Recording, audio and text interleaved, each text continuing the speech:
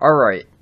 So this is a presentation that I've wanted to do for uh, about a year now. Um, I'm glad I'm finally getting around to doing it. Um, so yeah, let's let's just get into it. I wanted to start by mentioning some of Joe Rogan's sponsors. This is going to be the theme of this presentation is the corporate and cultural agendas that Joe Rogan is involved in. Now, this is the type of information that's not fun to research yourself.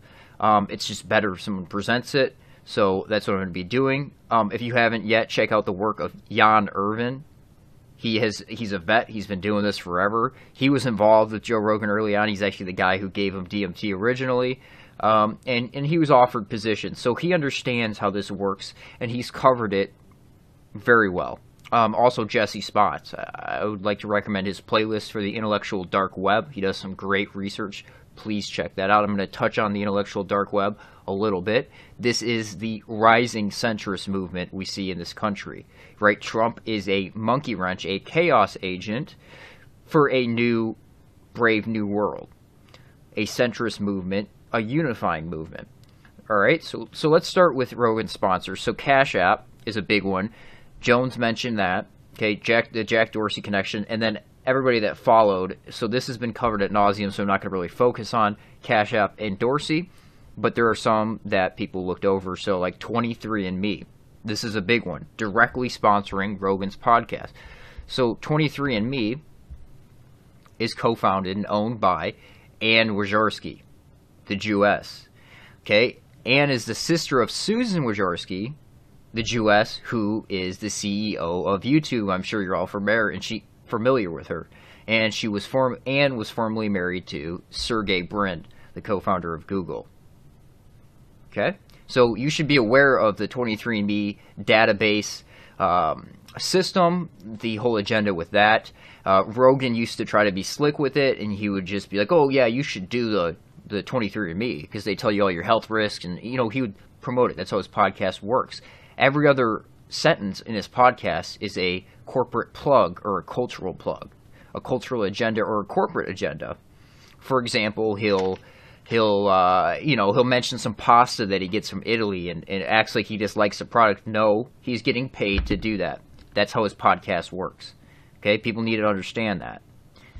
And, and his influence is beyond anything we've ever seen. His podcast is so influential because of its base in Los Angeles, and then also it spreads everywhere else. So you can set the trends in Los Angeles, and they spread everywhere else. And that's exactly what we see going on with Rogan. He is by far the most uh, crucial asset for the information age at this point in time. Okay, and then another person who sits on the board and is high level in 23andMe is Esther Dyson. Now, I want to highlight her because of her involvement in commercial and privatized space, which is a common theme we see running through these Rogan Jones type networks. Okay, so so as of early 2007, Dyson describes herself as spending more and more time on the private aviation and commercial space startups. Also in healthcare and genetics. Dyson is a founding member of Space Angels Networks and is invested in XCOR Constellation Services, Zero G, Icon Aircraft Space Adventures, and Mars One. Now, Mars One is a well known scam. And I want you to think about how long commercial and privatized space has been in the conversation, right? There's a news article for it, you know, at least once a week that somebody's taking the step for commercial space. And for decades, we've seen this. Richard Branson, you know, et cetera, et cetera, Elon Musk. What do we see come out of it? Nothing, because it's a scam. Now, it would be easier for you to understand this if you understand the scam that NASA is. Now, if you're completely unaware of that or unfamiliar with that subject, email me, northmattheww at gmail.com, and I will send you proof and evidence that NASA is a scam, scamming $52 million a day from the laughing stock of the world, U.S. taxpayers. Okay, so that's a common theme. Again, is commercial and privatized space that we see running through these networks. It's my contention that they're essentially funnels for that money to be funneled into other movements and other agendas, i.e., an information uh, information age asset like Joe Rogan. So let's move on to Elon Musk. Now, I believe, although Elon is not listed as, although Elon is not listed as a sponsor, he is a sponsor. And here's why I think that.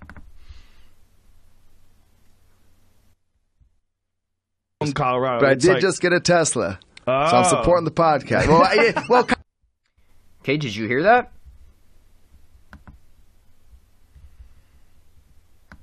Okay, he said, I, I just, I did just. from Colorado. but I did like- just get a Tesla, so Oh. I'm supporting the podcast. Well, I, well, I did just get a Tesla, so I'm supporting the podcast. How does that follow? Buying a Tesla supports Joe Rogan's podcast. Hmm. Is Elon Musk subsidizing Rogan's podcast for an agenda? For propaganda purposes? Absolutely. Absolutely. And we saw this demonstrated with the securing funded when when Elon smoked the blunt, when he hit the backwood on Rogan's podcast. That was them manipulating stock prices. That was completely fake. And there were plenty of YouTube videos that I posted in my community section, um, articles, but they all got scrubbed because Rogan has that much access and influence. They all got scrubbed.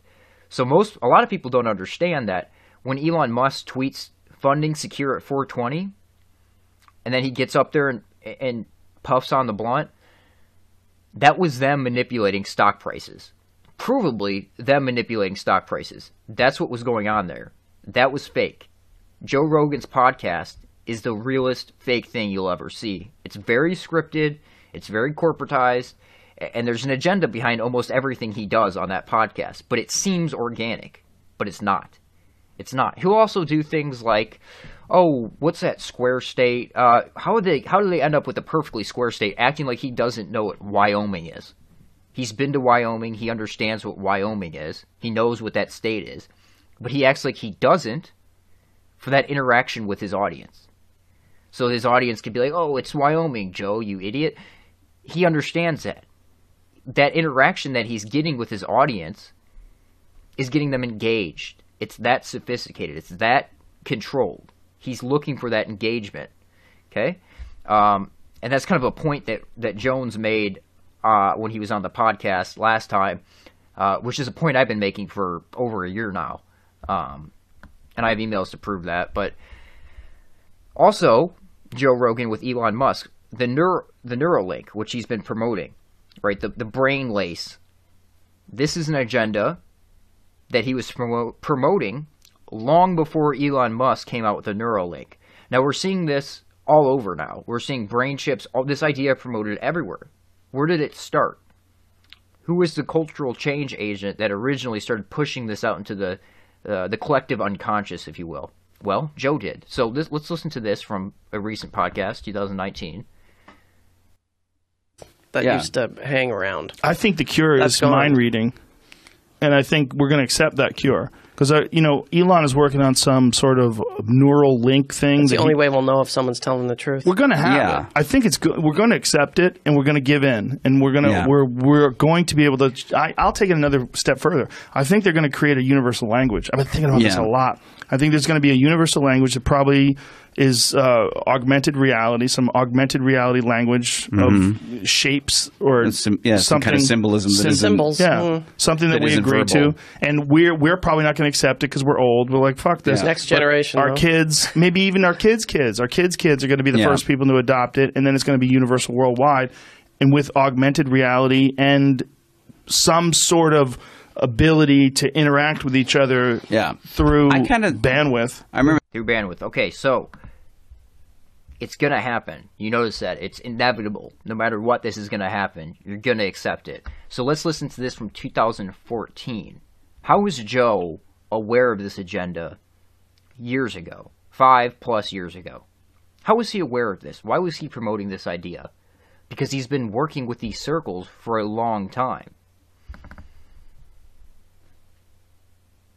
I think that one of the things that's coming out with technology is access to information, and access to Hmm. information, not just current information, but um, maybe even future.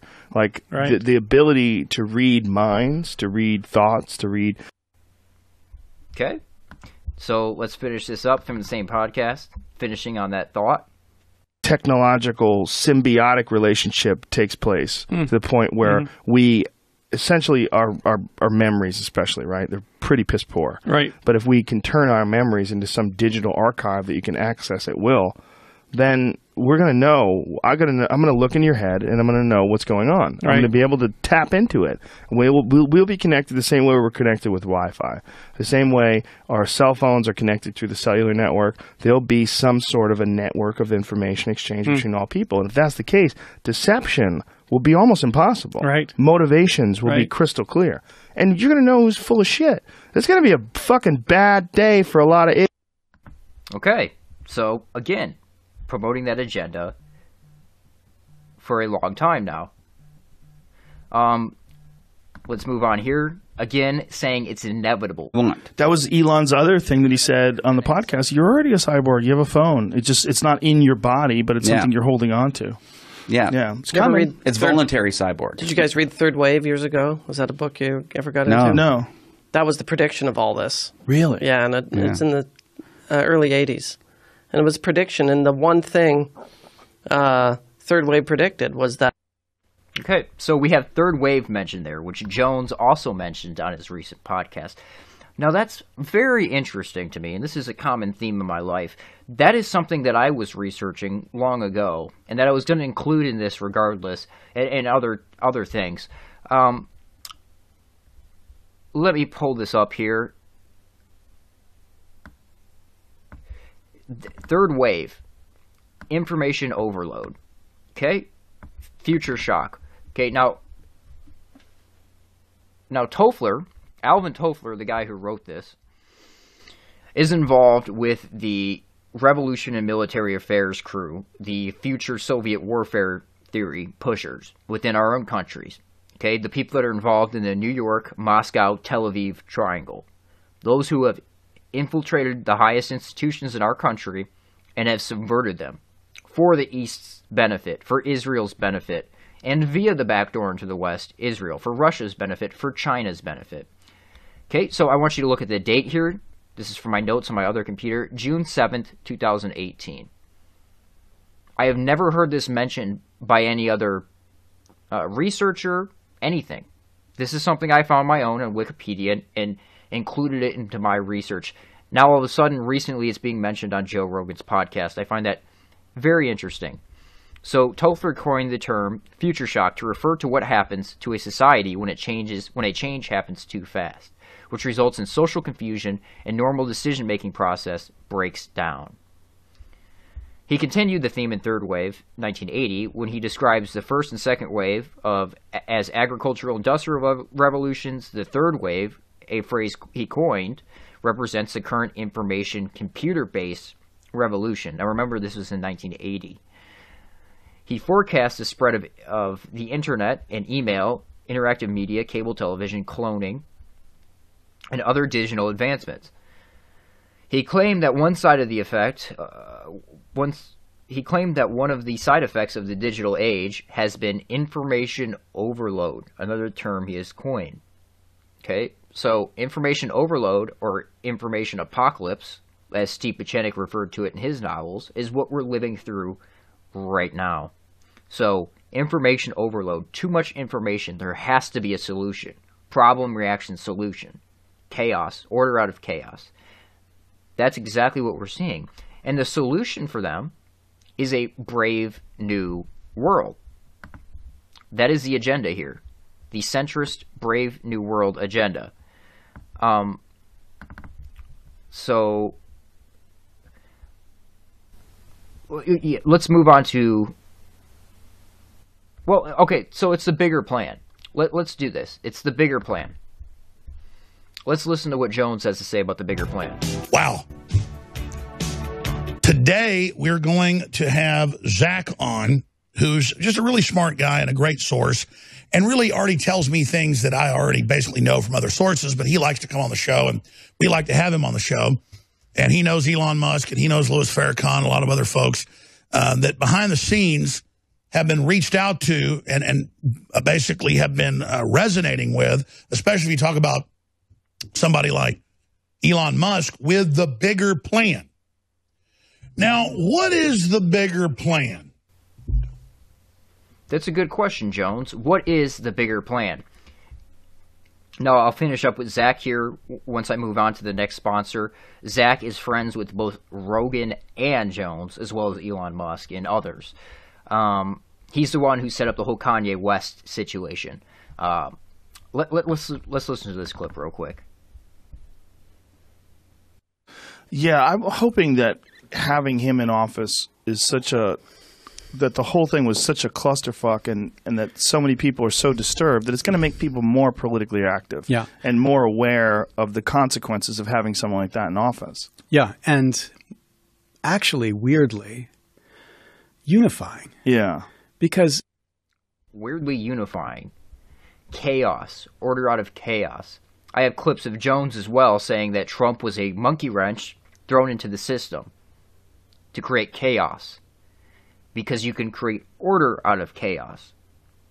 So, unifying, a centrist unifying movement that instant gives you miracles, gives you new plant-based solutions, gives you gives you new solutions to big pharma, gives you new solutions in technology. It sounds wonderful, but they're used as methods of control for further enslavement for a brave new world. That's why these this needs to be highlighted and the change agents involved in this agenda need to be highlighted and hammered on. Okay, so let's move on to the next sponsor here, which Jones made veiled threats at right here Onnit.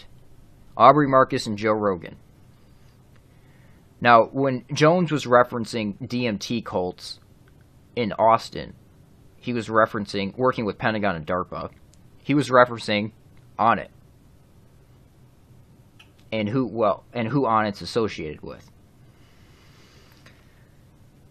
Now, I knew the whole situation with Jones wasn't authentic from the beginning. I knew that ha- threatening Onnit was a legitimately Jones putting pressure on Rogan, and having Jan Irvin on was actually him putting pressure on Rogan. But I knew he would never go anywhere. He was doing it because he was pissed at him. He was doing it because of the Soros talking points. But as we'll get into here in a second, Joe was so deeply involved with Soros that, you know, it, it, it, come on, Jones. So he, I knew it wasn't going to go anywhere. Is my point. I knew that these are overlapping networks, like a Venn diagram, overlapping. That this would end not end up going anywhere. So let, let's get into Onnit here.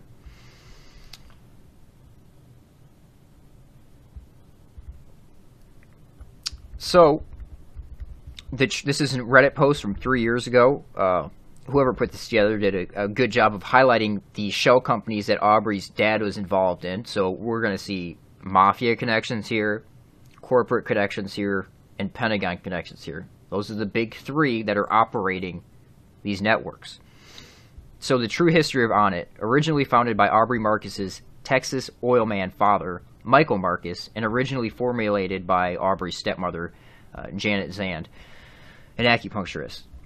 So let's go ahead and read this. Michael Marcus, father of Aubrey Marcus. Michael Marcus is a commodities trader who in less than 20 years reputed to have turned his initial 30,000 into 80 million.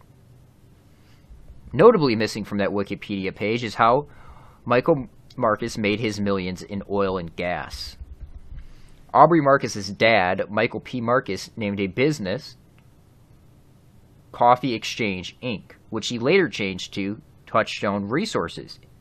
And then he again changed to Cygnus Oil and Gas, which owns working interests in approximately 13 oil and gas projects in Texas, Louisiana, Mississippi, Oklahoma, Arkansas, Alabama, and New Zealand. Okay, so are we seeing a common theme here? Are we smelling shell companies?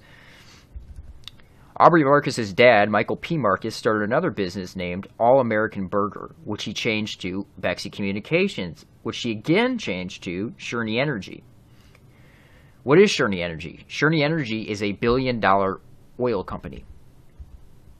Aubrey Marcus's dad started another business named Expressions Graphic Inc., which he again changed to Continental Southern Resources, which he again changed to Endeavor International Corporation, another oil company which ended up screwing investors out of their money. Scams. Scams for agendas. So Aubrey Marcus was a trust fund kid with millions of dollars from his dad, Michael Marcus's oil business to play around with. He's a non-entity, a mouthpiece, and would have been forever known as the guy who invented nail polish for men, which, by the way, is he did, and he called it Alpha. That that was the the marketing there. um. So, and then the flashlight that came from Onnit, Joe Rogan's co-founders of Onnit with Aubrey. Now, Onnit's huge with their connections, which we're going to get into here in a minute. Um, the flashlight, there's a whole agenda with that. I'm not going to get into that, but that was what that's his initial, you know, hawking product on his uh, podcast, just being a complete sellout, just all about the money, right? He he acts like he actually cares about people. He acts like he actually cares about the world. No, he's all about money and his own personal interests. Okay, so let's move on to some interesting things about Aubrey here. So this is a good article to read. Brazilian Jiu Jitsu uh, competitor Travis Nueza made bizarre accusations that Onnit CEO blocked him from EBI competition. Now, why did he block him? BJJ competitor Travis is claiming that the CEO and founder Aubrey Marcus pressured him for a sexual relationship. Travis claims that he once he declined his declined his pay for working at Onnit was drastically cut and that Aubrey blocked him from competing at the Eddie Bravo Invitational. Now, Eddie's involved in this agenda as well. Eddie is propped up because he is so bad at cons- explaining conspiracy theories. The- conspiracy theories, quote unquote, is so bad at it that it actually has the opposite effect. Okay? He's involved in all kinds of conspiracies himself. Okay, he's he's embedded in this network as well. Eddie Bravo knew about Elon Musk a long time ago, years ago.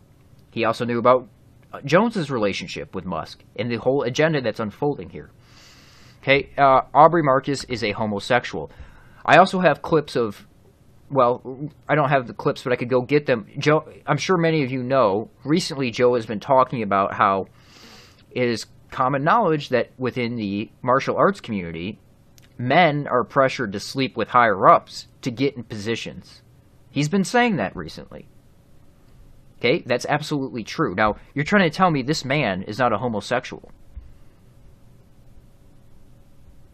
He's absolutely homosexual. These guys are switch hitters. Now, he has a wife who looks like a man. Um, there's probably a reason for that, but that's what's going on here. So let's get into Aubrey's bio a little bit here.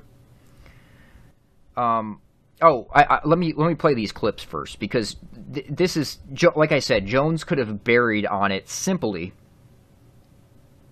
Jones could have buried Rogan simply with Onnit, but he chose not to. Why? Because he was always there. He was always involved. He always has known what's going on. So let's watch a couple of these clips here. Oh yeah, look around. Hey, Aubrey. Aubrey needs to hire Olivia over there at a high salary, I'm, or I'm going to hire her away. You can't, I just brought her in for an interview. huh? You can't take her in the first hour. No, no, You no. gotta give me a chance. On the, the bones of, of what? No, Hitler's no, no. bones? No, you want to work here. This is cool. We can just carry on the stories over there. We're gonna we're gonna be working together. It's almost happened a couple times already. We're going to be working together. Now, Jones is obviously coked up in this podcast. Ev- Anytime you come around these Onnit connected, maps connected, people that are researching drugs for um, corporate and government agendas, th- they seem to have a steady supply uh, that you could guess where it's coming from. Now, Jones has said he's going to be working with Onnit. That's interesting. Let's watch this one. Want to hear some more? Uh-huh. Here, here, let's do the voice you from heavy got? metal. My evil extends across all time, all galaxies, all dimensions. A green jewel. Look into me one last time. Strong. I don't know who that is. I don't know who it's that fucking is. Great. Now we're having. Darth Vader. That's still Darth Vader. I am here to tell you the secret of the Loc-Nar is Onnit. It is the oh, Alpha yeah. Brain. I've OD'd on Alpha Brain and found Valhalla. No need, no need for ayahuasca. but the Nemesis Brain Force has arrived. A little, little plugging now. Uh-huh. Brain Force. Now, Jones actually modeled Brain Force alpha, after Alpha Power. It's the same formulation, it's the same product. Um, actually, and Jones's uh, supplement structure is based off Onnit as well. He he's doing a lot of the same things, where there's a lot of a lot of shady things going on in, in that aspect of it. So, let's move on to this last clip here. It's so crazy. man. Cra- In fact, Shane Steiner. Let me, Are let me you- mention real fast that the um, he mentioned the Loc-Nar. I kept it in there for a reason. Loc-Nar from uh, Heavy Metal, that that that movie. It's uh, actually very good, um, and it's an allegory. The Loc-Nar is Lucifer, the green light, and it, it's interesting to me that he associated Onnit with Lucifer. Just an interesting statement there. You Bill Hicks. Shane Steiner. Are you Bill Hicks? Where's Shane Steiner? Let's. Now, I didn't want to include th- this part in here, but I had to to get this clip. Every time Jones is around, people from Onnit, these corporate people, Hollywood people, comedians, they always call him Bill Hicks. Now he's going to call a guy named Shane Steiner in here. Bring him in here. I went to frickin' high school with this guy. We had Texas Monthly call me about a year ago. How could you say some? How could you say Texas person Monthly called me about a year ago. Anybody believe it? Right when Bill Have Hicks died. And they said- many Mission Impossible? And they said, and see, that's the And they crazy did conspiracy. Now, what Eddie's doing there, how could you say someone, someone, and, and people believe it? He's saying that there's a reason that conspiracy has legs. If you understand how he works, he's saying there's a reason, and, and notice how uncomfortable these people get.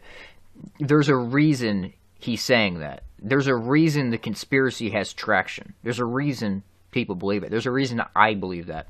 Okay?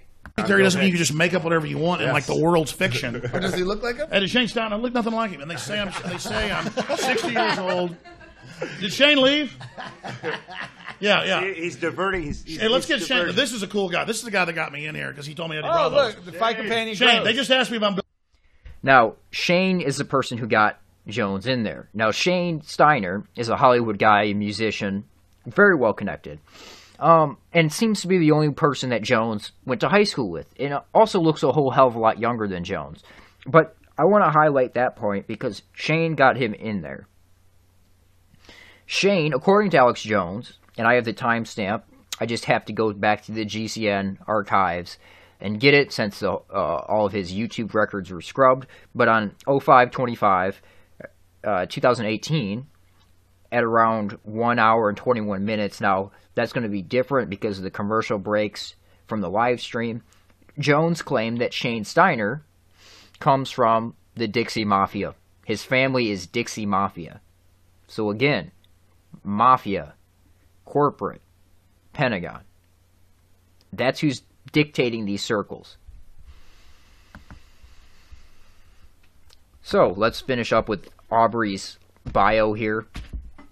Aubrey Marcus is the founder and CEO of Onnit, a lifestyle brand based on holistic health philosophy. He calls total human optimization. Onnit is an uh, Inc. 500 company and an industry leader with products optimizing millions of lives, including many of the top professional athletes around the world. He regularly provides commentary to outlets like The Entrepreneur, Forbes, The Doctors, and the Joe Rogan Experience.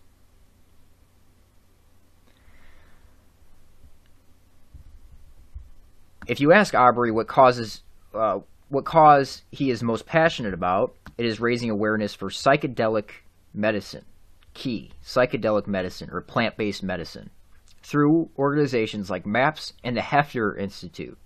He is a 20-year native of Austin, where he currently resides. MAPS and the Hef- Hefner Institute. Now, before I move into MAPS and Hefner, Hefter, I want to play this for you real quick and, and get you asking yourself a question here. Hi, for Tim Kennedy. I think you know what I think. I about? tried to take I think you it's down? the drugs. Oh fuck! Did we do drugs then? Yeah, we did. We did DMT. Was that the? That was the next that, day, that was bro. The, That's why I was so emotional. Wait, wait, wait. Are you sure? Yeah, I went through it. I'm like, why was I crying like that? That's Dude, interesting. Hey, hold up. Could not stop crying. So Brennan and I did. We did. Um, DMT. we did a believe you guys DMT did uh, uh, trip. We didn't know. What'd you we say, didn't know. Jen? I said, I can't believe By the way, what, what is he doing with his hand here? Why is this guy always rubbing on himself? You guys did that. Dude, we didn't even know. DMT. We didn't I would know do it right we now. Didn't, I would do it in a heartbeat. We didn't know it's what ayahuasca is. We didn't know what to expect. I'm into psychedelics now. I've never, I haven't done it, but I want to do acid next. Listen, if you're young and listening to this, don't. I'm 52, and no DMT. On acid, I'm. I'm not. I, I don't. I don't advocate drugs for anybody release me than who's young. Okay, but if you're an adult, it's up to you. But DMT was awesome. DMT. So I'm not. I'm not a drug guy, right? I'm, I'm not. I Neither never one have of us are drug Yeah. guys. Never. none cocaine, and not even weed. Right? Not really a boozer. So Love we titties. we find out we're gonna we're gonna be invited. We're invited to this quote unquote ceremony by a shaman who will remain nameless. and Brennan and I both. Aubrey Marcus. Yeah. What were you saying? And Brennan and I look at each other. We're like, are, are we gonna do this? I, I'm not gonna. So I don't want to bore you with the rest of that clip, but they go on to say they smoke DMT. Now, this is in America that they're doing this. How are these people getting away with giving people DMT in these cults and these self help DMT cults? How are they getting away with doing this in America illegally? Ask yourself that question. It's illegal, but they can get on a podcast and talk about it and send people in that direction. Um, I, I want to finish up here. Uh, let's let's. I guess I'll mention on the on the fake beef. Now I started putting this together, and this was always going to be my opinion on it. Like I said, there was two things Jones did, threatening on it and having Jan on, that were legitimate. But clips like this always were ringing in my memory. People have such But Elon Musk is a patriot. Assange is a patriot. And I can tell you right now that Musk is a fan of yours. Um, I could tell you the same way. Maybe you didn't know who I was back then, but Farrakhan was a fan of yours. The problem is Elon Musk has picked his side. He's in with DOD, but Today, we're going to have Zach on, who's just really scenes have somebody like Elon Musk with the bigger plan. Now, what is the bigger plan? I mean, you told me you'll soon see uh, Kanye at the White House. Uh, you know, you said that By the way, Zach is the one who was behind the whole Kanye West situation. Uh, and I was the only one that took him seriously. That's how I was able to predict the Kanye West situation long before anybody else did, because I listened to what this guy had to say. Now, everybody thought he was too young. Everybody thought he wasn't anything, that he was just some kid, you know, on a Navy ship somewhere calling in. No, this guy's involved. This guy has been involved for Cywar, with Cywar for a long time. Now he currently resides uh, at Space Command, former Cent- CENTCOM. Um, he was involved with the Fort Hood shooting. He worked with Voice of America as uh, a victim Muslim. He also worked with CAIR as a double agent. Okay? culture will speak, and you've, you've not predicted. You know a lot of what's coming uh, and, and what's going to be unfolding. first of all, I've had some conversations out there in those hills out there in Calabasas with Joe Rogan. With Joe Rogan. And Zach's a great source of really interesting information, I know who he is, who his identity is, and some of the things he's done behind the scenes and things that have unfolded. Uh, and so he is who he says he is. He does do what he says he's doing, and and I can confirm some of the stuff he's been up to out in Las Vegas and out in Florida and out in uh, uh, L.A. as well. L.A. as well. Okay, so he also knows Elon Musk, Joe Rogan, and Alex Jones. So we're having a military guy go in between these guys, and is kind of dictating which directions they go in, possibly, or influencing them in some way or another. But that was something that was always in my head. These people can't really dislike each other, or they can dislike each other, but they can't really attack each other because they're involved in the same networks. They're Pentagon assets for the information age, as well as corporate assets. Um, and then this is from the fight. Uh, this is something that I don't think anybody picked up on. Very like 99.9% of the listeners did not pick up on what he was saying here, but I, I did. You're the bitch, and you get ready for it. That's how this works, Pilgrim. Keep That's how this works, Pilgrim. What does that mean? Pilgrim. Well, the Pilgrim Society is a British intelligence front. Now, remember, with the intelligence community, it's a giant spider web with Israel at the center of it. But the Pilgrim Society is something that all the early MK Ultra guys were involved in. You know, uh, Halpern, all the all those people coming out of the Pilgrim Society or associated with the Pilgrim Society, Alan Watts, all the MK Ultra people, all those cultural 60s change agents were coming out of there. Now, this is something where I think I would see an overlap with these two. Because Jones is surrounded by British intelligence. You know, uh, example, Ted Malloch, uh, total MI6. Um, but again, uh, you would see this is like a Venn diagram, and you have these overlapping networks that they're both involved in. Um, and then let's let's finish it off. This is also from the beef that was going on. So just stop acting like you don't. We have a State of the Union coming up. Let- Let's finish up this clip. fill in the blank, whatever ridiculous conspiracy. The Rothschilds, the fucking Rockefellers, whatever it is. I'm not talking about that because the government threatened my family. That- Sorry, let's. So just stop acting like you don't. We have a State of the Union coming up. Let- Let's finish up this clip. fill in the blank, whatever ridiculous conspiracy. The Rothschilds, the fucking Rockefellers, whatever it is. I'm not talking about that because the government threatened my family. That is fucking wrong. It's ridiculous. And now you put it out there. So hey, pause Alex- again. Hey, I, I have a question for Mr. Rogan here. Hmm. Um, is it ridiculous because um the Rockefellers fund maps which fund you? Is it ridiculous for that reason? I mean, are the Rockefellers not real? Do they not have a track record of funding destructive, uh, subversive movements within this country for their own benefit? Is that why it's ridiculous, Joe? So we'll get into maps here in a second and explain to you exactly what it is, but this is when Joe, when these maps people came around, Dennis McKenna, etc., when they came around, Joe stopped front loading his podcast with ads. This is when he became ad free. So let's watch this real quick. And just press the music. Let's just go right with music. By the way, Jamie's struggling. I'm going to get into Jamie later, but Jamie seems to always struggle for, especially for a podcast at that level. we have no uh, no commercials today. I like it. Oh, that's great. We're commercial free, ladies and gentlemen. We're brought to you by the universe. Rogan Experience. Train by day, Joe Rogan podcast by night, all day.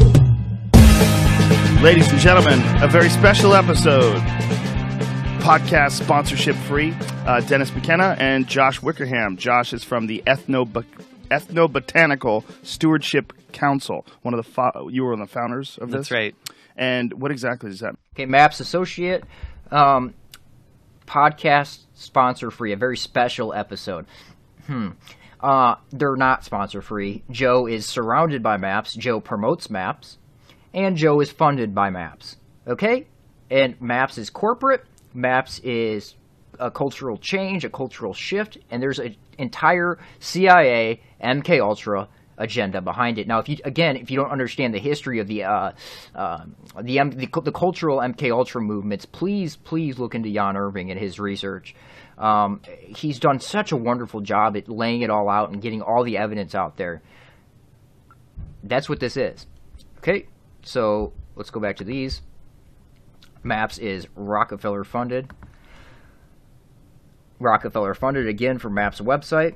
The David Rockefeller uh, family concludes uh, to the obituary, encouraging people to honor uh, Richard Rockefeller's memory by contributing nonprofit organizations, uh, including Maps. Okay, Rockefellers. backed by such private donors as this is uh, Heffter, which is synonymous with MAPS, um, and, and published via MAPS, where they were doing the ayahuasca, the DMT studies, you know, the Rick Strassman, all the studies that Rogan uh, references are MAPS or Heffter studies. Okay, backed by such pri- backed by such private donors as Laurance Rockefeller and Bob Wallace, and a Microsoft millionaire, which is Steve Wozniak. And this is easily provable by his association with things like Esalen, which we'll get into, and uh, in the countercultural and counterculture agenda. Uh, the institute is financing clinical trials with LSD, psilocybin, and other hallucinogenics. Okay, and then they say to treat phobias, depression, excess, whatever, blah blah blah. That's just to get funding. There's other reasons and other agendas for this. So let me let me just state right now for for those of you um, who who don't understand my position on this. I have no issue with people doing being able to own whatever substance they want, to being able to ingest whatever substance they want, especially when it's a plant or a natural substance. I have no issue with that. People should be able to do that. Now, I start to have an issue with it when it's being used as a corporate tool, a tool of control, because that's what's going on here. I offer you plant based medicines, alternatives, but it's a corporate tool. Now, there's more to that. So, the value with working uh, with the system this is the founder of MAPS, Mr. Doblin, coming from a Jewish family. Red flag. Now, again, you're, this is another common thread, which, to, as to be expected, the Jewish influence in it, the Jewish ownership of it, the Jewish dictation of it.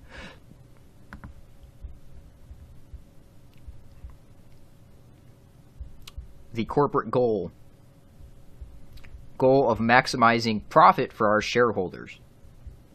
I just want to make sure this isn't okay.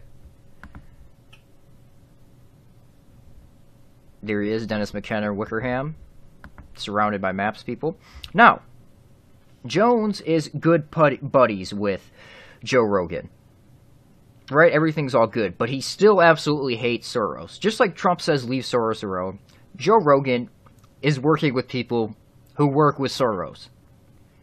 But that's okay by Alex Jones. That's fine. We'll just we'll just ignore that. We'll just ignore that that agenda there. Um, so, Maps is co-sponsoring a conference in collaboration with the Drug Policy Alliance.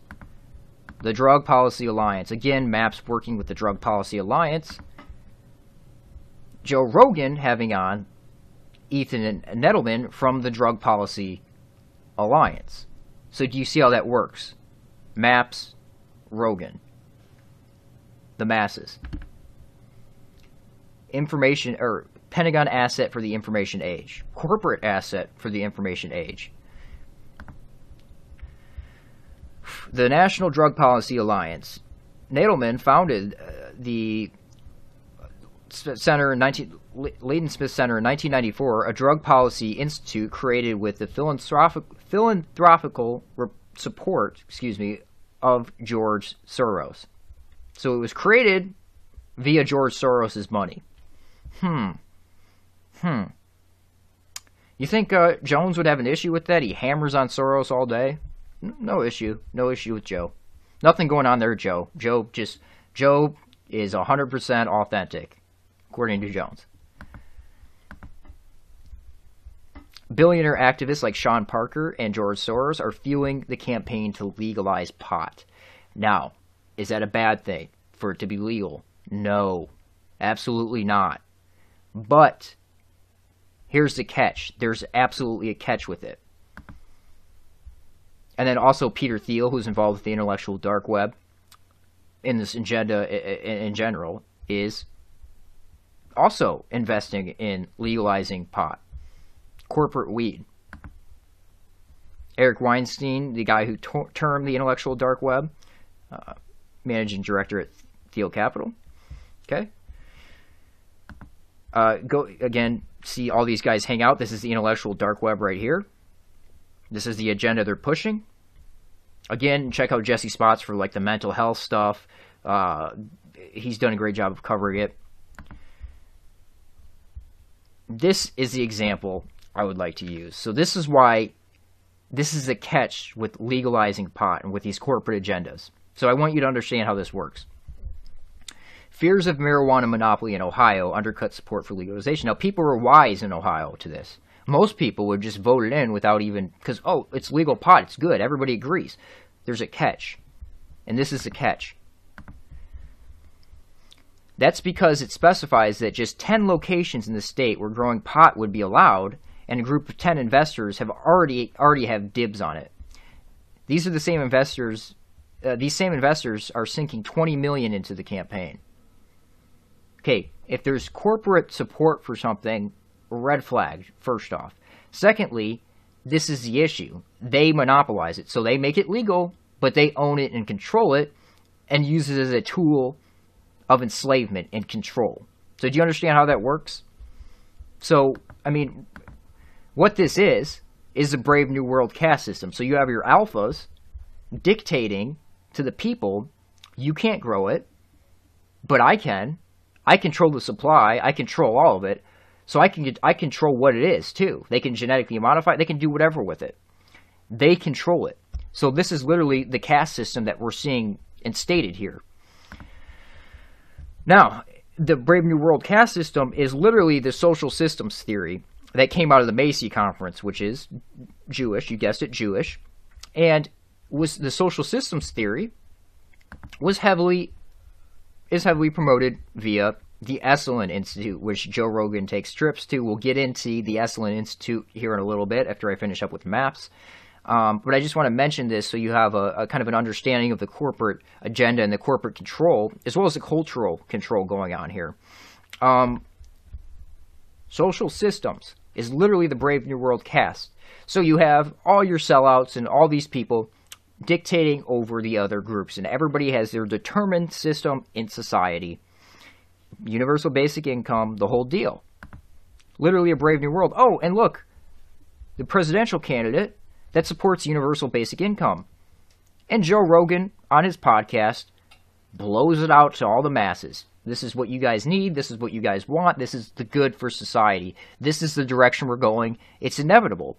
And he really has that much influence that people buy into it. Uh, absolutely. Uh, again, running for president. Now, where did this universal basic income idea originally come from? Well, people like Alan Watts, who was a CIA asset, via the Esalen Institute. Here he is at Esalen promoting this idea. Now, um, Esalen is essentially Bohemian Grove for the 21st century. Um, for those of you who aren't aware, um, Bohemian Grove, but they also study uh, like thought architecture, how to manipulate your subconscious. And we'll get into some of that later as well. Uh, for example, I have this book. Um, this is some studies that come out of Esalen. The real interesting ones are unpublished. Uh, the physical and psychological effects of meditation. So they're studying how the subconscious mind works. They're studying on the people. Now, the Silicon Valley people who go there, you know, the the the, uh, the top people, they don't get studied on, but they go there as like a retreat as it's Bohemian Grove essentially. So you have all these high level Silicon Valley people going to uh, Esalen Institute, where all these ideas are coming out of as well, but they also create agendas there. So, for example, the Manhattan Project came out of uh, came out of Bohemian Grove, originated at Bohemian Grove, and then ultimately was implemented. Same thing is going on at Esalen. It's Bohe- just think of it in terms of Bohemian Grove for the 21st century. So again, you have someone like Timothy Leary or Ram, uh, Richard Alpert, who from Harvard, you know, who became Ram Dass. And what they would do, you know, they would go to places like Esalen. And then this circle created a following of thousands of LSD veterans who were then deployed to proselytize for drugs for the masters, the secret masters agenda, the corporate and cultural agenda. That's what they're doing here. Okay? So it's kind of a similar concept with like Rogan and all of his the comedy store clique. You know, Daddy Rogan and everybody just grabs their ankles for Daddy Rogan because they're just riding that wave. They'll do anything for Joe. They'll get themselves involved in all kinds of illegal things, do everything for him because they're indebted to him.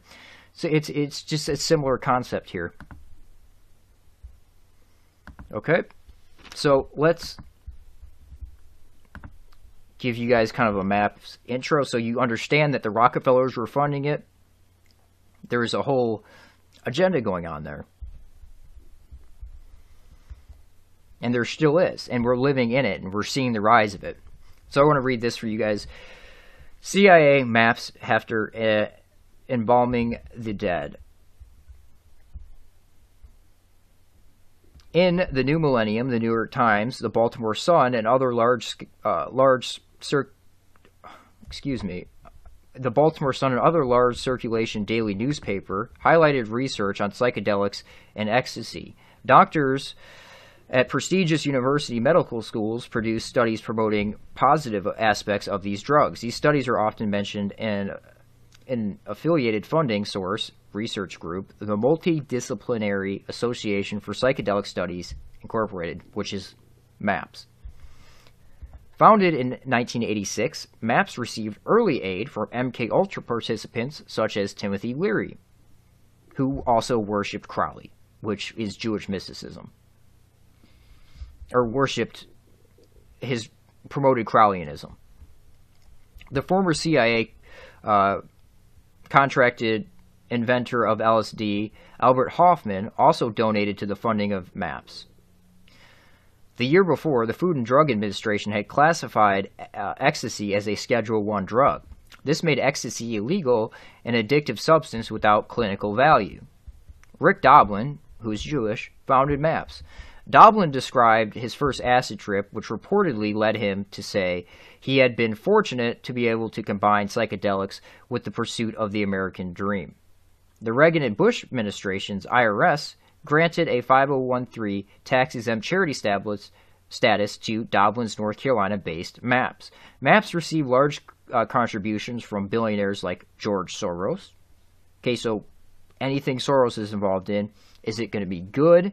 Even if it sounds good on the surface, like legalizing pot or anything like that, it sounds good on the surface, but there's always a catch to it. It's going to be used as a method of control and further enslavement. The multi billionaire uh, family uh, and Anonymous British Foundation. An anonymous British Foundation. In the new millennium, maps listed major contributions of families and groups, including uh, family, who had a net worth of tens of billions of dollars. Okay, so let's continue reading here. The relatively short article devoted uh, about two paragraphs to MAPS founder Doblin. MAPS start during the Reagan Bush presidential administration seemed no coincidence. In 1986, Vice President George H.W. Bush's aide, Oliver North, jump started the Iran Contra scandal involving the CIA in trafficking cocaine, which is a CIA CNP operation. Once the former CIA Director Bush uh, reached the presidency, he appointed Dr. David Kessler as Food and Drug Administration Commissioner, harkening back to the MK Ultra days of testing LSD in schools. Kessler approved university testing of psychedelics again in 1990, just after the U.S. Senate confirmation. Now we see Trump doing this right now, allowing these psychedelic plant based medicines to be tested and approved. The approval marked the FDA's first psychedelics research in over 20 years.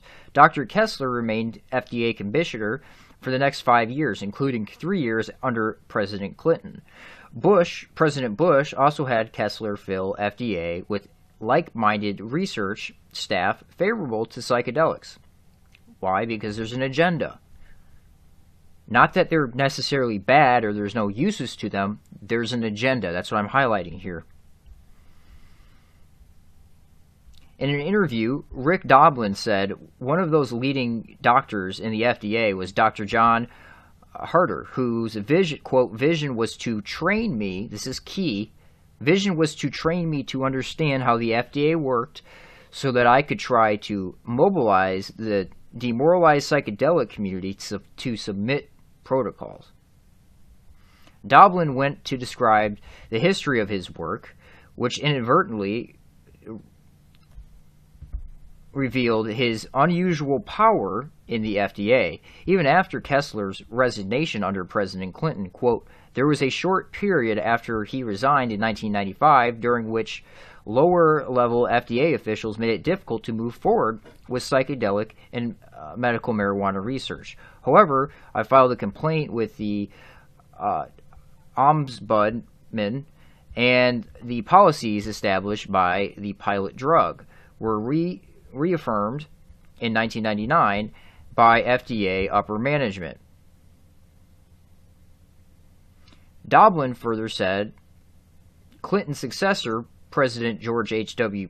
President George Bush, pre, excuse me, President George W. Bush also picked an FDA commissioner, Dr. Jane Henney, who is supportive of psychedelic research. From 2000 to 2011, MAPS articles showed up in newspapers worldwide. With uh, MAPS funding of Harvard and Johns Hopkins research, the idea of LSD and ecstasy having health benefits spread. The New York Times, Baltimore Sun, and other newspapers helped spread MAPS propaganda, further legitimizing the group. The strongest evidence, so CIA, MK Ultra's 50 years of involvement. The strongest evidence of CIA continuing MK Ultra was revealed in the November 2000 arrest of 55-year-old William Leonard Picard, deputy director of UCLA's Drug Policy Research Program, for running one, running one of the largest, one of the nation's largest LSD laboratories. Drug enforcement agents would also eventually uh, impl- implicate Professor John Halpern and other psychedelic think tanks. The Heffter Research Institute which had worked uh, on many projects with maps, the, D- the, DEA arrested Picard at the laboratory site, a decommissioned mil- uh, missile silo, which they actually weren't at that point. This is an interesting case. Um, they were set up by a DEA double agent, Gordon Todd Skinner. And they weren't arrested at the site. They were leaving the site. They were packing it up and leaving. They never actually produced LSD there because they thought they were being set up. DEA agents had enough raw materials there to make over 15 million hits of acid. Comprehensive articles in the Rolling Stone and San Francisco Chronicle cite evidence suggesting that Halpern, Picard, and others were involved in continuing this MK Ultra operation. This operation has links to the original MK Ultra LSD laboratories and universities universities involved in MK Ultra, top government officials and LSD promoting think tanks. Okay, so an interesting maps connection. I wanted to finish with that drug trafficking story, that manufacturing of LSD story, because I believe there's a lot of that going on right now. As I said before, ask yourself how are they able to give DMT out to people, just like the Grateful Dead used to give out LSD to people, illegally in this country with no issues?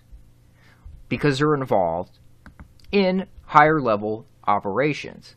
They're involved in research programs, in MK Ultra style research programs.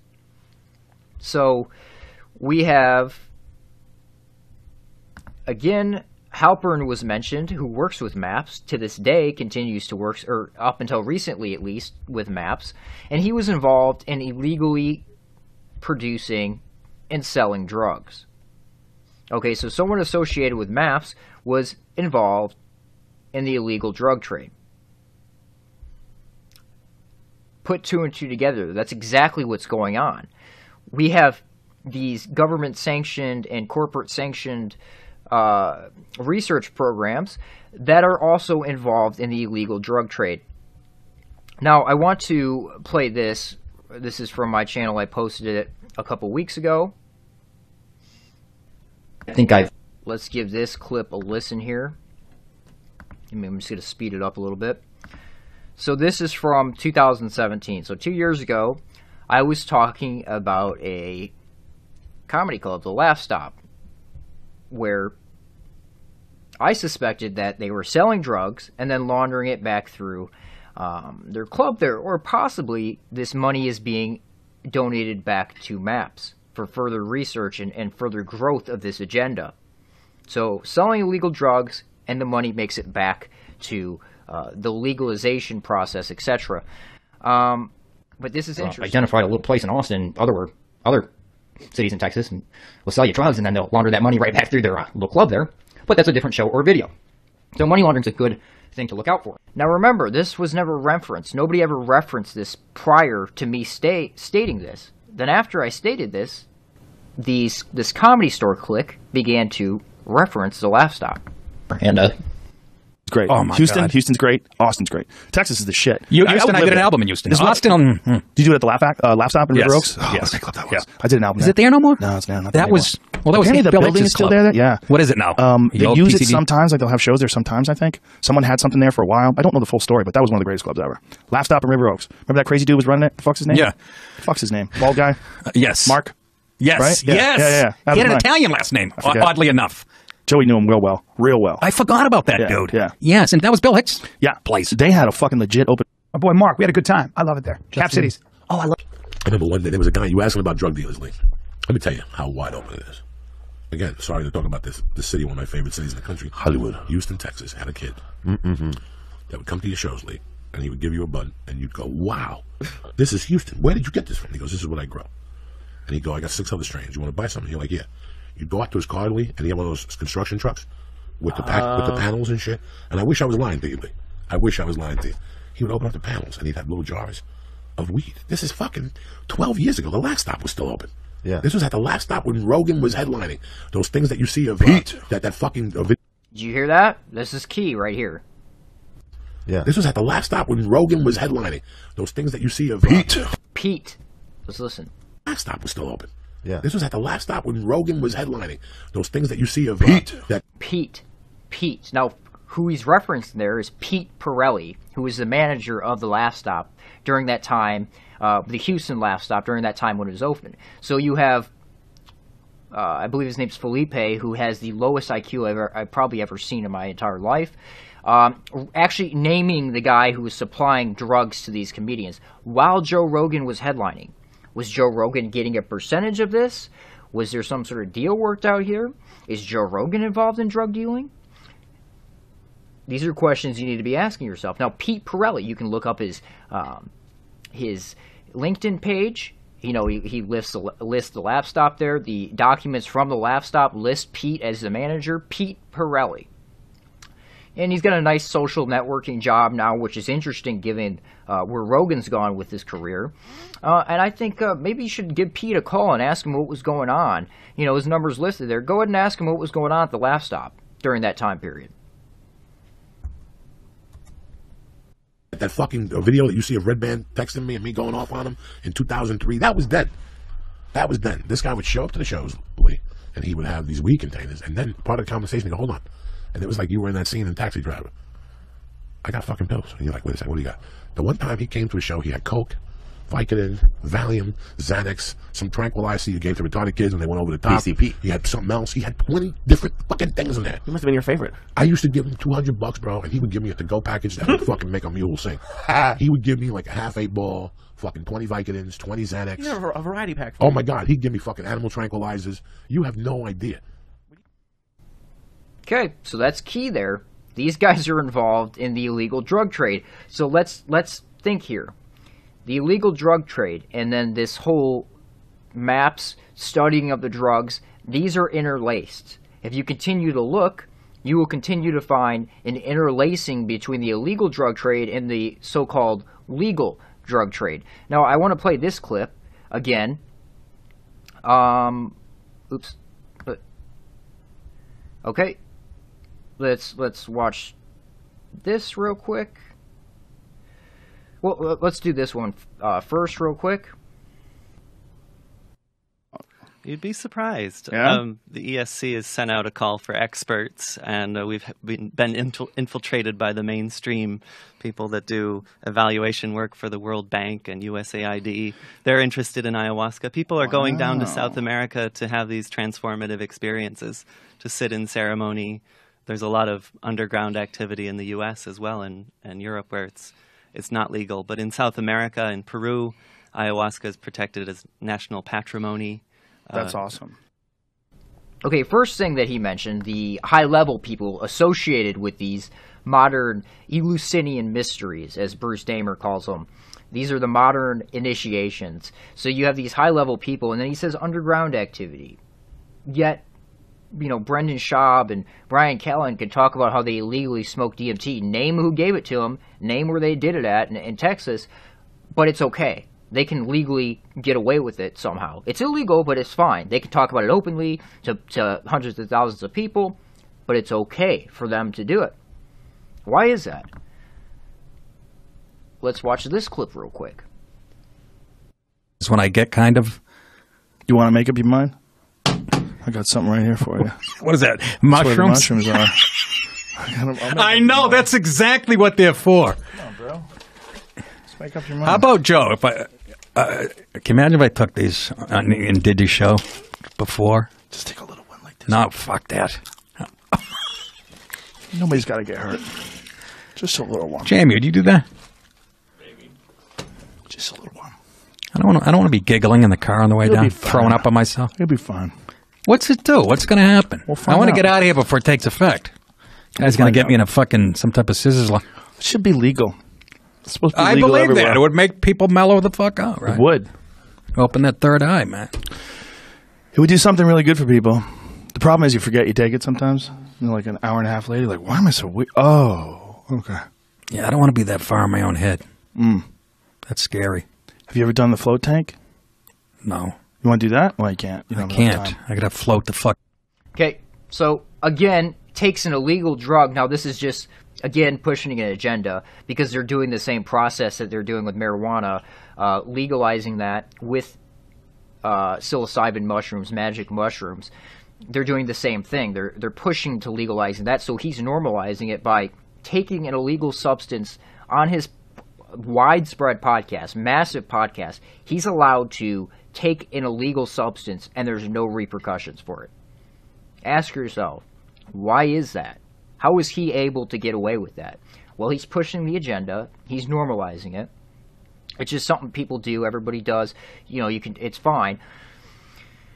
And the thing that they're doing with the magic mushrooms is exactly the same that they're doing with the legal pot, where there's a corporate control over the substance. It's dictated by corporations. It's dictated by the alphas in the caste system, where they control everything about it. So again, like I said, and I'm not someone who hasn't tried these substances. I, I, I've I've d- done pretty much all of them. Okay, but like I said, it should be legal. In my opinion, it should be absolutely legal. It should be truly free and undictated by a corporation. It should not be dictated by a corporation. You should be able to grow it yourself. You should be able to do it all yourself. It also shouldn't be pushed on people. The the agenda of pushing it on people is a cultural agenda for a specific reason. Secondly, it's a method of control. It sounds great because these are plants, these are funguses, they should be available to everybody. If someone chooses on their own will to take this substance, that should be fine. I have no issue with that. But when there's a corporate control over it, a corporate monopoly, that's an issue. When George Soros is investing hundreds of millions of dollars, when Peter Thiel is investing hundreds of millions of dollars, that should be a red flag for you. You should be aware of this, and you should understand that this is a method of control. This is a method of cultural change, and this is a method of enslavement. That's exactly what we're seeing going on here. So you're not allowed to grow them. Only the corporate masters, only the alphas can grow them. Oh, and th- this is another one. Um, this might not. Tree snake is on the branch. But I want you to listen very carefully here. Um, this is Bruce Damer. We'll get into him in a second. High level DOD, direct Pentagon connection to Dennis McKenna. Now, it sounds like Joe Rogan does a bump of cocaine right here. I want you to listen for the bag, literally ruffling a bag. I want you to listen, listen for the snort, and I want you to listen for the drip afterwards. And, and also in the context of what Bruce is talking about, where people are hiding their drug use, and it should be out in the open and free. waiting for her, waiting for her. And she, so she's getting high on all this sugar because we still get high on sugar. Here we are drinking our coffees, right, with our sugar. And she's watching. Okay, drinking our coffees with our sugar, and he does a scooping motion. So, again, where, where's Rogan getting these drugs from? Is MAP supplying the drugs? Is Onnit supplying the drugs? Is the illegal drug trade and this uh, legal study of drugs, is it all synonymous with each other? I believe it is. That and that trace, that pattern of scales has evolved to mesmerize. Okay. Now, I'm not saying 100% that's what he did, but that's sure what it sounds like and looks like. Anyways, moving back to MAPS here.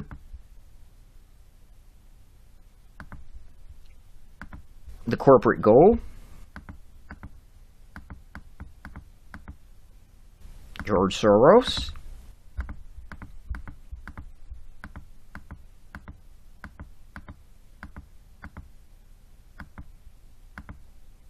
Oh, I forgot to mention, MAPS. Another common theme you're going to see through all this counterculture MK Ultra stuff is heavy involvement with the Soviet Union. Okay, there's a reason for that. Uh, if you watch um, that KGB defector, uh, I can't. I'm, his name escapes me right now. Uh, Yuri Yuri Bezmenov, and he talks about how the KGB wanted to push yoga and, and these meditation and these Esalen uh, type movements within the country because there's a method of control with that. Okay, so and and and it's on record. You can read the documents how they would push it. They had a hard time. The Soviets had a hard time running operatives via the West Coast, and they found an in with the peace hippie movement. So again, MAPS working with the Soviets in the 90s, 1994, you know, or 92, right, right on that turning point, working with since 1985. So this is uh, this guy researching ketamine in the former Soviet Union, which is still the Soviet Union. If you don't understand that they faked their breakup, that was all predicted by the defectors, like Anatoly Golitsyn. That's exactly what's going on. I would research that. But th- he was researching ketamine, and if you go through here, it seems as though he was more interested in the subconscious mind than anything, what the effects and how to influence the subconscious mind. That seems to be his main focus here when working with ketamine on people. And they got contracts with military hospitals, like veterans hospitals. So where was MAPS born? Where did the idea come from? Well, Doblin, Mr. Doblin shares a fascinating story about how the idea for MAPS got started at the Esalen Institute in Big Sur, California. So again, think of it in terms of the Bohemian Grove of the 21st century, where you're having studies going on on people, but you're also having these high level Silicon Valley and people from from every uh, institution going there and and creating, scheming up new ideas and, and new movements and new agendas via the Esalen Institute. So, who goes to the Esalen Institute? Esalen, where you just were on mm-hmm. the. Big Sur coast, and they stored them at their in town. Did you see what happened to Big Sur? What? Unfortunately, those are out of Esalen. I'm not sure why, but Joe Rogan goes to the Esalen Institute. He's talking to Bruce Damer there. And I, if you haven't watched that interview with Bruce Damer, please watch that. At least the first 20 minutes of it or so. Um, it, it- there's, it's very telling. So we're going to transition on into the Esalen Institute here.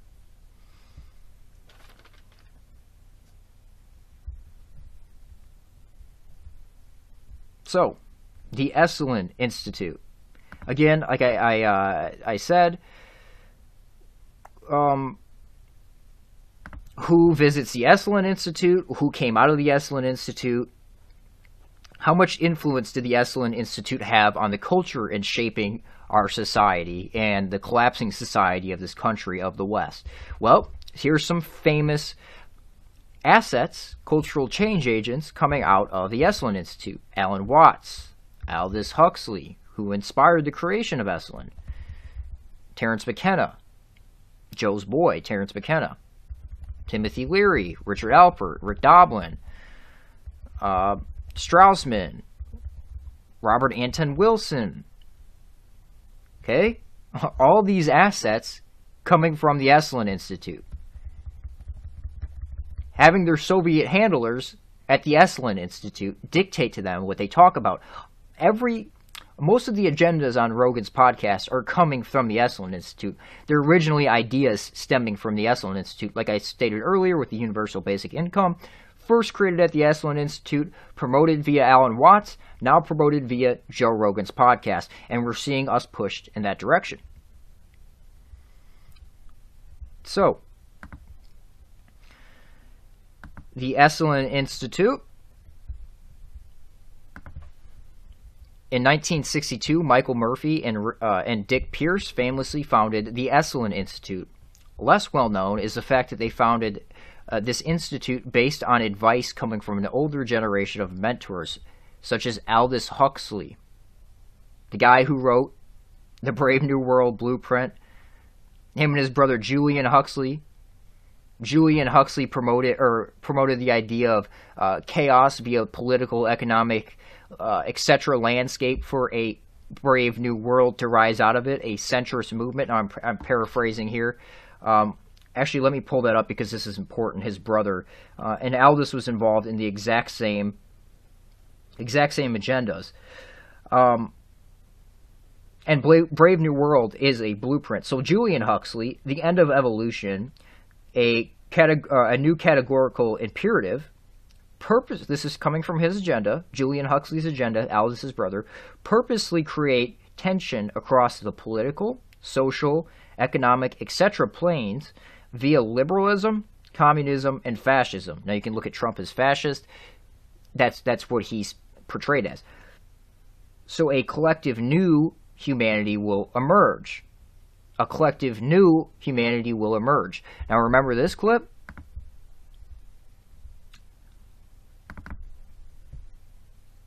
A collective new humanity will emerge.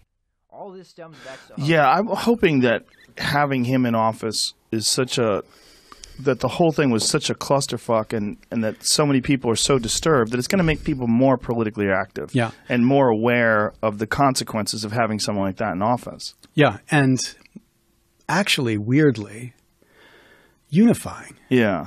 Because weirdly unifying. Okay, interesting. Mentors such as Aldous Huxley, Alan Watts, Joseph Campbell. Now, Campbell, if you are unaware of these people, which is understandable because this research is suppressed, they've kept Jan Irvin, who really dug all this stuff out and droned through documents and things to uh, make this information available. This is a huge agenda that they don't want in the public domain. Go look at Jan Irvin's Logos Media. Go check out Logos Media. Read his articles over there, and l- please dive into his brain database. He has all the connections there. It is beautifully done. All the footnotes. You can spend months in the thing. This is an important agenda that is unfolding before us right now, with history going into the past and then continuing into the future. All these people are covered uh, by Jan Irvin, with Laurance Rockefeller being another major supporter of Campbell. Laurance Rockefeller was also an an important behind the scenes advisor to Michael Murphy since the founding stages of Esalen and donated millions of dollars to the Institute.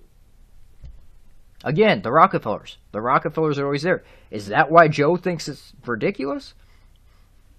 Are the Rockefellers ridiculous? The Rothschild agents, the Rockefellers, are they ridiculous? I don't think so.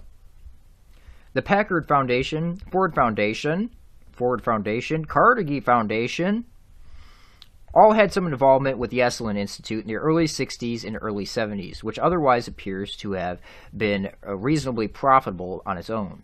It would be clear what forces were behind the founding Esalen Institute. It should be clear what forces were behind the founding of the Esalen Institute, an institute we will get back to in a later chapter. Okay? These are all this is it's all footnoted, those are all the references. Again, Esalen Institute the sensitivity training and quote sexual encounter programs of the most radical California groups such as Esalen Institute and its many uh, imitators were all developed and implemented by Tavistock, Tavistock Institute psychologists. Tavistock involved. Esalen Institute is Tavistock involved. Again, this is a hard book to find, and it's basically one of their only published ones uh, on them doing uh, studies and uh, and documenting those studies that you can uh, find. It's it's pretty lu- uh, lukewarm as far as uh, what they're doing here, but it's again it's thought architecture, thought architecture. It's all about how to dictate the subconscious. Now anybody can go to Esalen Institute if you pay, but you're going to be experimented on, and you're going to be uh, you're going to be an experiment essentially for future programs and future operations. Okay, so I want to read this article just so people have a better understanding of how of what the Esalen Institute was used for and how how much the Soviet Union was involved in the Esalen Institute. I want to hopefully pull up okay, let me show you this real quick. This is from, um, I can't believe I'm drawing a blank on it. Um, this is a book by, oh, An End to Ordinary History is what it is. And it's all about the, uh, you know, the men who stare at goats type operations, which I'm going to get into later, which is involved with all this stuff. But it's really a smokescreen. It's it's about those operations, the CIA and the KGB, and their interest in it.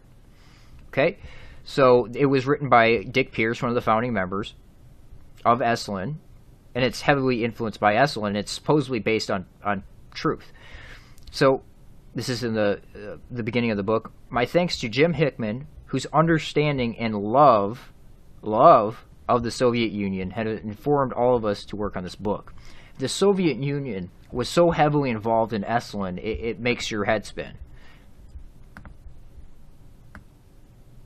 Okay, so this is a, bit, a really good article to refer to. How a famed New Age retreat center helped end the Cold War. Um, as far as understanding of uh, the Soviet influence over Esalen and how much they really dictated that.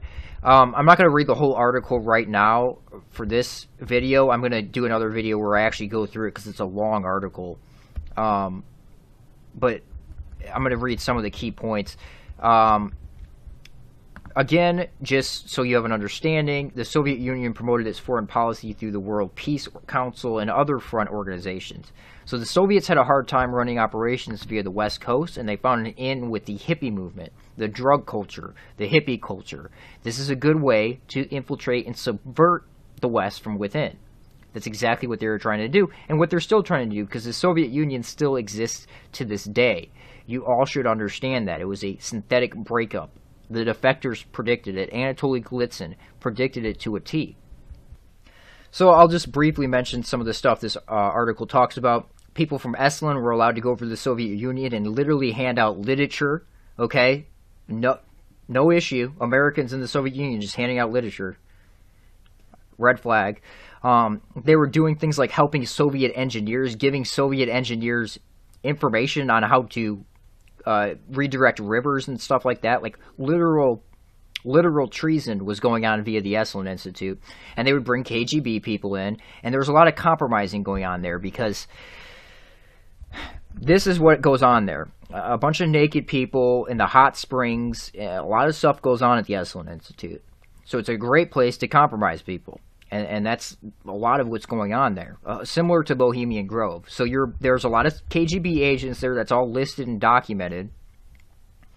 Um, again, a lot of the Esalen people, a big cover is the whole expanding your consciousness, telekinesis, uh, psychic warfare. These are covers. These are smoke screens. These are smoke screens. And that's what they were using for their smoke screen to uh, run these operations.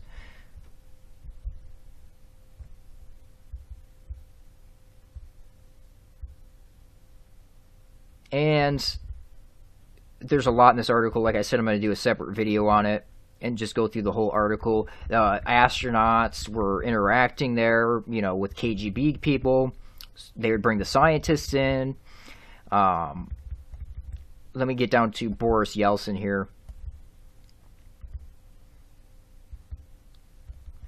So Yeltsin came to America. This is before he was selected to be president. Came to America via the Esalen Institute, and they brought him around. They showed him around America, and after he came to America via the Esalen Institute, he was instated as a president. Okay? Esalen and Tavistock working together. This is track two diplomacy. People involved, that's where that term comes from, Esalen. Track two diplomacy. The idea was to forge new lines of communication between Cold War powers by bringing some of the USSR's leading scientists and spiritualists to Esalen Institute to mix with their counterparts in the United States. Maybe we all have common goals. Hmm. Hmm. Sounds pretty treasonous to me. Sounds like they were setting up for a brave new world. It sounds like the Soviets had a lot of influence over our people, and they were trading information back and forth. That's how some of the folks from Stanford Research Institute in Silicon Valley, who would one day be responsible for funding and building the biggest technologies firms, met up with the Russian cosmonists. Now, this is all via Esalen Institute. They set up a series of events at Esalen's Big Sur campus. So you're having these you're having these these Silicon Valley people meet up with these Russian scientists.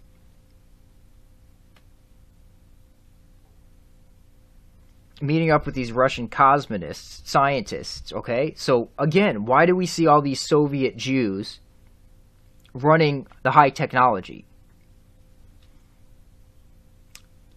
They, I mean, if you, uh, I uh, some of you are hopefully aware of like the Talpiot guys and their research. Um, I think most of it's pretty much off the internet at this point, unfortunately. But the the whole Talpiot program and what you see going on in Israel is all these Soviet Jews dictating Israel because that's what Israel is. It's a backdoor into the West. So again, a lot of it's happening via the Esalen Institute.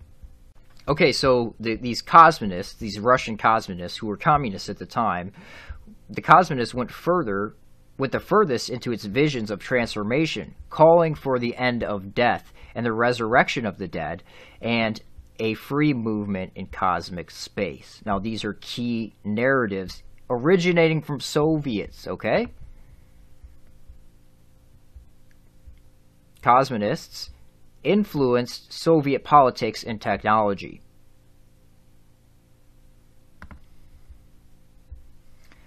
The Cosmonauts told Americans, LSD taking spiritualists, that te- technology could give them a way to beat death. So these are the agendas originating out of Esalen. So I think you're starting to understand what's going on here. We're not being beaten by machines, but by a league of tech billionaires who have been taught to believe that humans are the problem and technology is the solution. We must become aware of their agenda and fight it if we're going to survive. Now, that's a key quote. Um, I want to play this clip here.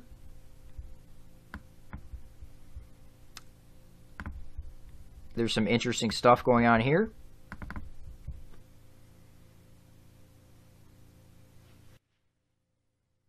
Rudolph II, you know, supported. He funded these alchemists. And the initial project. Now, this is Bruce Damer speaking here. High level DOD, like I said, friends with Joe Rogan, good friends with Dennis McKenna to the point where they smoke DMT together. Uh, and Bruce gets ideas for science via the DMT. Um, he works with NASA, he works with these think tanks. Uh, actually, well, I'll play that in a minute. Project was not to turn lead into gold, but to animate Rudolph II, you know, supported. He funded these alchemists. And the initial project was not to turn lead into gold, but to animate matter from dead to alive. Yeah. And that's been a passion of mine for a long time, but it was A passion of yours has been to bring the dead back to life. or to so goes on. To bring the dead back to life. Um, what did this clip say? What did what, what were the, the, the Soviet cosmonists interested in?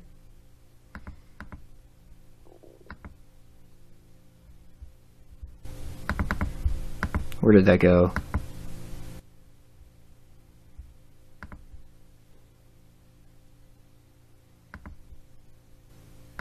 Where did that go? Uh, oh, vision went furthest in the visions of transformation for calling calling for the end of death and the resurrection of the dead and free movement in cosmic space. Where do we see these agendas pushed constantly? We see these agendas pushed constantly on Alex Jones, and we see these agendas pushed constantly through the intellectual dark web uh, and, and Joe Rogan.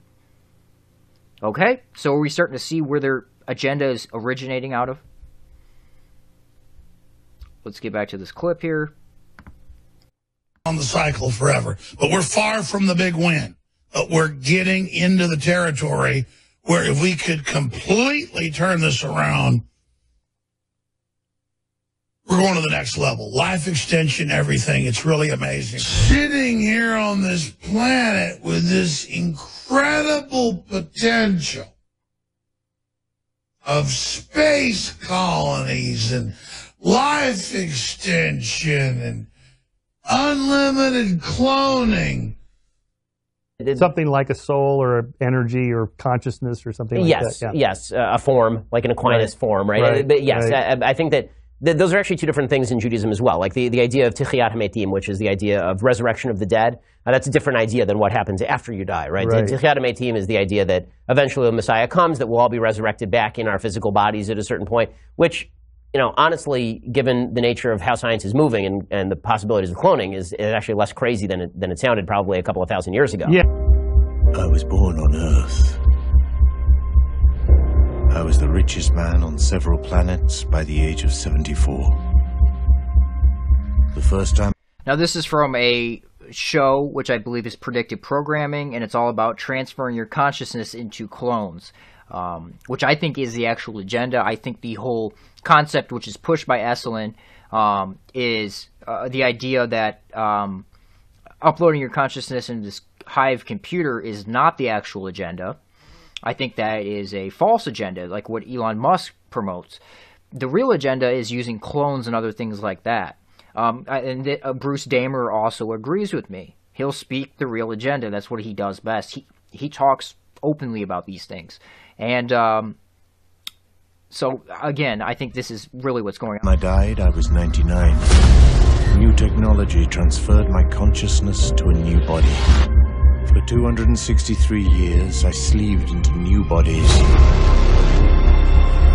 living on in perfect health. A vault for your every memory, your every secret, immune to aging and disease. The body will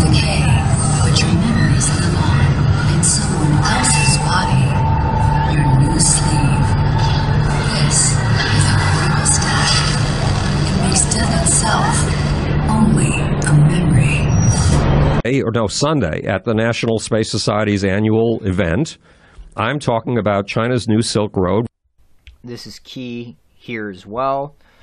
Um, le- I'm going to skip over this for now because that's going to be the next thing I mention here. economy. Him actually uh, embrace Elon Musk and Jeff Bezos, the two guys who can save us by opening a platinum highway in the sky. What does that mean? A platinum highway in the sky means a space economy.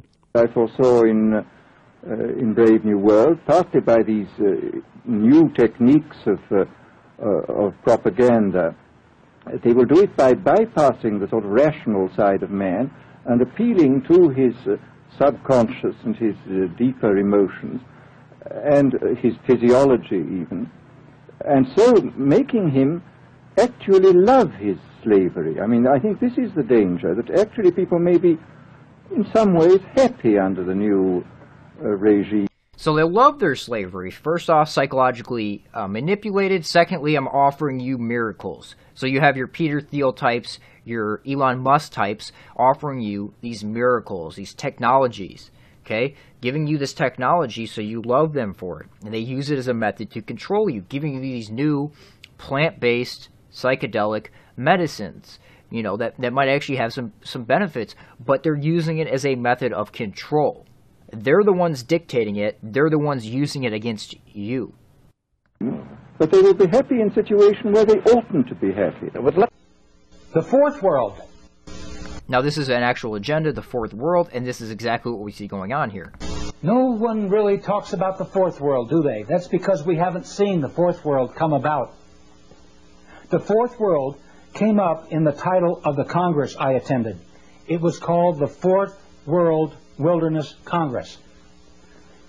Maurice Strong said it was called the Fourth World because it was the fourth one of these environment congresses that Edmund de Rothschild had created. I learned later that the world order refers to the coming one world government as the fourth world. World control by the world order where there is no more first, second, and third world. Just a boundaryless planet which is called the fourth world wilderness. Yogis and shamans refer to Fourth World Wilderness dictated via Israel, at the center, at the hub. it as the fourth world wilderness, the lostness of the mind. The lostness of the mind refers to the collective consciousness. Persons will be coerced through lies, drugs, fear, and pain to surrender themselves, their egos, to the collective consciousness. The fourth world will be a return to a society much like the Caesars or Babylon or the Fourth Reich. Within the fictionalized societies described in Huxley's Brave New World and Brave New World Revisited and Orwell's classic 1984.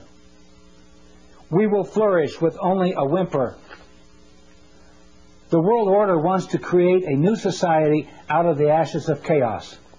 A collectivist fourth world complete with a collectivist religion, collectivist finance, and unchecked world national socialism. The world order will offer Gaia, Mother Earth, to the masses. I don't think national socialism. I think international socialism, and I think the universal basic income has a lot to do with that. As the Big Brother image to worship in the fourth world.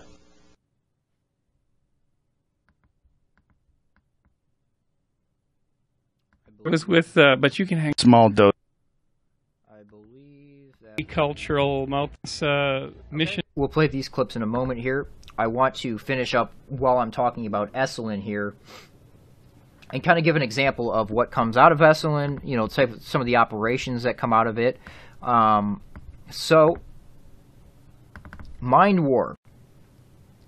Aquino, Michael Aquino, the famous Setian, a fifth degree of initiation is Maga, M A G A. That's a fifth degree of initiation in the Temple of Set, which originates out of the Church of Satan, who he was also heavily involved with early on. Um, so, Aquino, who loves the Soviets, was very close with the Soviets. So let's read this. Aquino was deeply involved in what has been called the revolutionary revolution in military affairs, or RMA, the introduction of the most kooky, third wave new age ideas into long military long range planning, which introduced such notions such as information warfare and cyber warfare into the Pentagon's lexicon. In the early 1980s, at the same time, Heidi and Alvin Toffler, mentioned him earlier, were, were spinning their Tavistock third wave utopian claptrap to some of the Air Forces, which is Air Force Space Command, which Zach is a part of, uh, Air Force's top brass, Lieutenant Colonel Michael Aquino, who was the first Army space officer, and other U.S. Army Colonel Paul Vallely, who completely supports Israel and supports the idea of Israel dictating the world. We're co authoring an article for the Military Review. Now, that article, Mind War. So, uh, Carol Marshall, or Sherry Seymour, who is the one who un- unraveled the whole Promise Gate scandal. Um, very well respected research, private investigator, very well, res- very well, excuse me, respected. So she persists that with uh, she persists that va- the Valley Vallely and Aquino paper, which is Mind War, virtually spawned the entire revolution in military affairs. And its approach to warfare, military operations other than uh, MOOTW, and viewing and its asym- excuse me, in its asymmetric approach to warfare and military operations other than MOOTW in and viewing mainstream media as potential Mind War operatives or alternative media. In a follow up U.S. Air Force Academy study, we learned why warfare must become multi dimensional.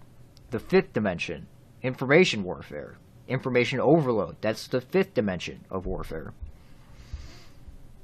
So, this is from the. Okay, so the spectrum of conflict as portrayed in most readings is single dimension, linear, and continuous. It must be replaced by mul- a multi dimensional model, perhaps even a non linear and discontinuous. Uh, topographical mathematicians would call it a manifold, hence the name conflict manifold. Its primary characteristic is multidimensional. Now, you know, the guy who ter- termed the uh, intellectual dark web is a mathematician, and as we see with this Trump media, the nonlinear warfare is completely, completely out of control.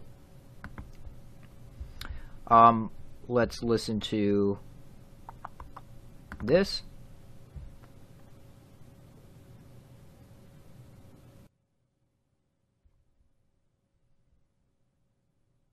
It's almost like there's too many things happening for one person to pay attention to all of them. And if you're only focusing informational on, overload, yes, exactly. and if you're only, but hold on, if you're only information overload, non-linear warfare. Hmm. So, mind war, which originates out of Esalen, according to Michael Aquino. Um, let me see if I can. Right here. This is where he admits it. He he's admitted it a bunch of times, but this is a clip uh, that you should go watch. He it comes out of Esalen. Excuse me, I don't know what happened there. It comes out of Esalen, the Esalen Institute. It comes out of studies, unpublished papers called the Transformation Project, where according to him they were studying thought architecture or how to manipulate the subconscious mind, how to dictate the subconscious mind, where 95% of your thought process, that's a conservative number, 95% of your thought process takes place. So your database that you're pulling information from, your uh, the external stimuli that you absorb to create your uh, algorithmic thinking, your your initial thought, your conscious thought, is being pulled from the subconscious. So these guys were working out via the Esalen Institute, who actually Aquino got in contact with these guys because of their their published works with the Soviet influence, their published works with Soviet thought architecture, which they Aquino somehow intimately knew the Soviet research there. So this is the core structure of Mind War, which is exactly what Alex Jones's uh, operation is. Oh man, I should have that clip ready. Shoot. I'll insert it in here. Spygate.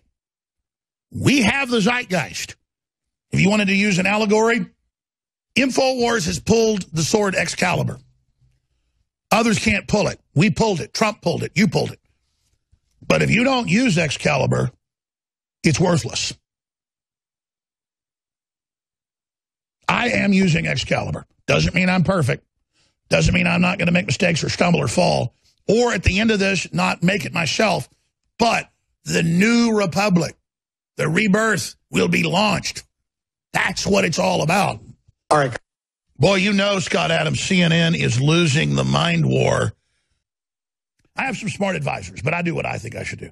They've begged me not to tell you this. But I will because my weapon is the truth. This is from the Mind War paper that spawned the revolutionary the revolution in military affairs, the future Soviet warfare theory within this country. These media are, of course, the electronic media, television and radio. Alex was one of the first TV radio broadcasters. That's what a podcast essentially is television, radio. State of the art developments in satellite communication and video recording techniques. Remember, this is in 1980. Like the sword Excalibur, we have to reach out and seize this tool, and it can be, and it can transform the world for us if we have the courage and the integrity to enhance civilization with it. If we do not accept Excalibur, then we relinquish our ability to inspire foreign cultures with our morality. If then if they then desire moralities unsatisfactory to us, we have no choice but to fight them on a more brutish level.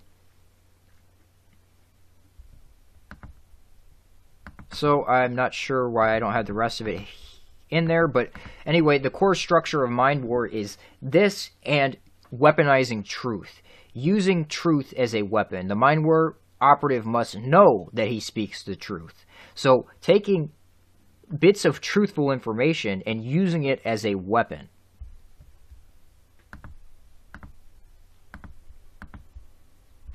Um, and our boy Bruce Damer knows all about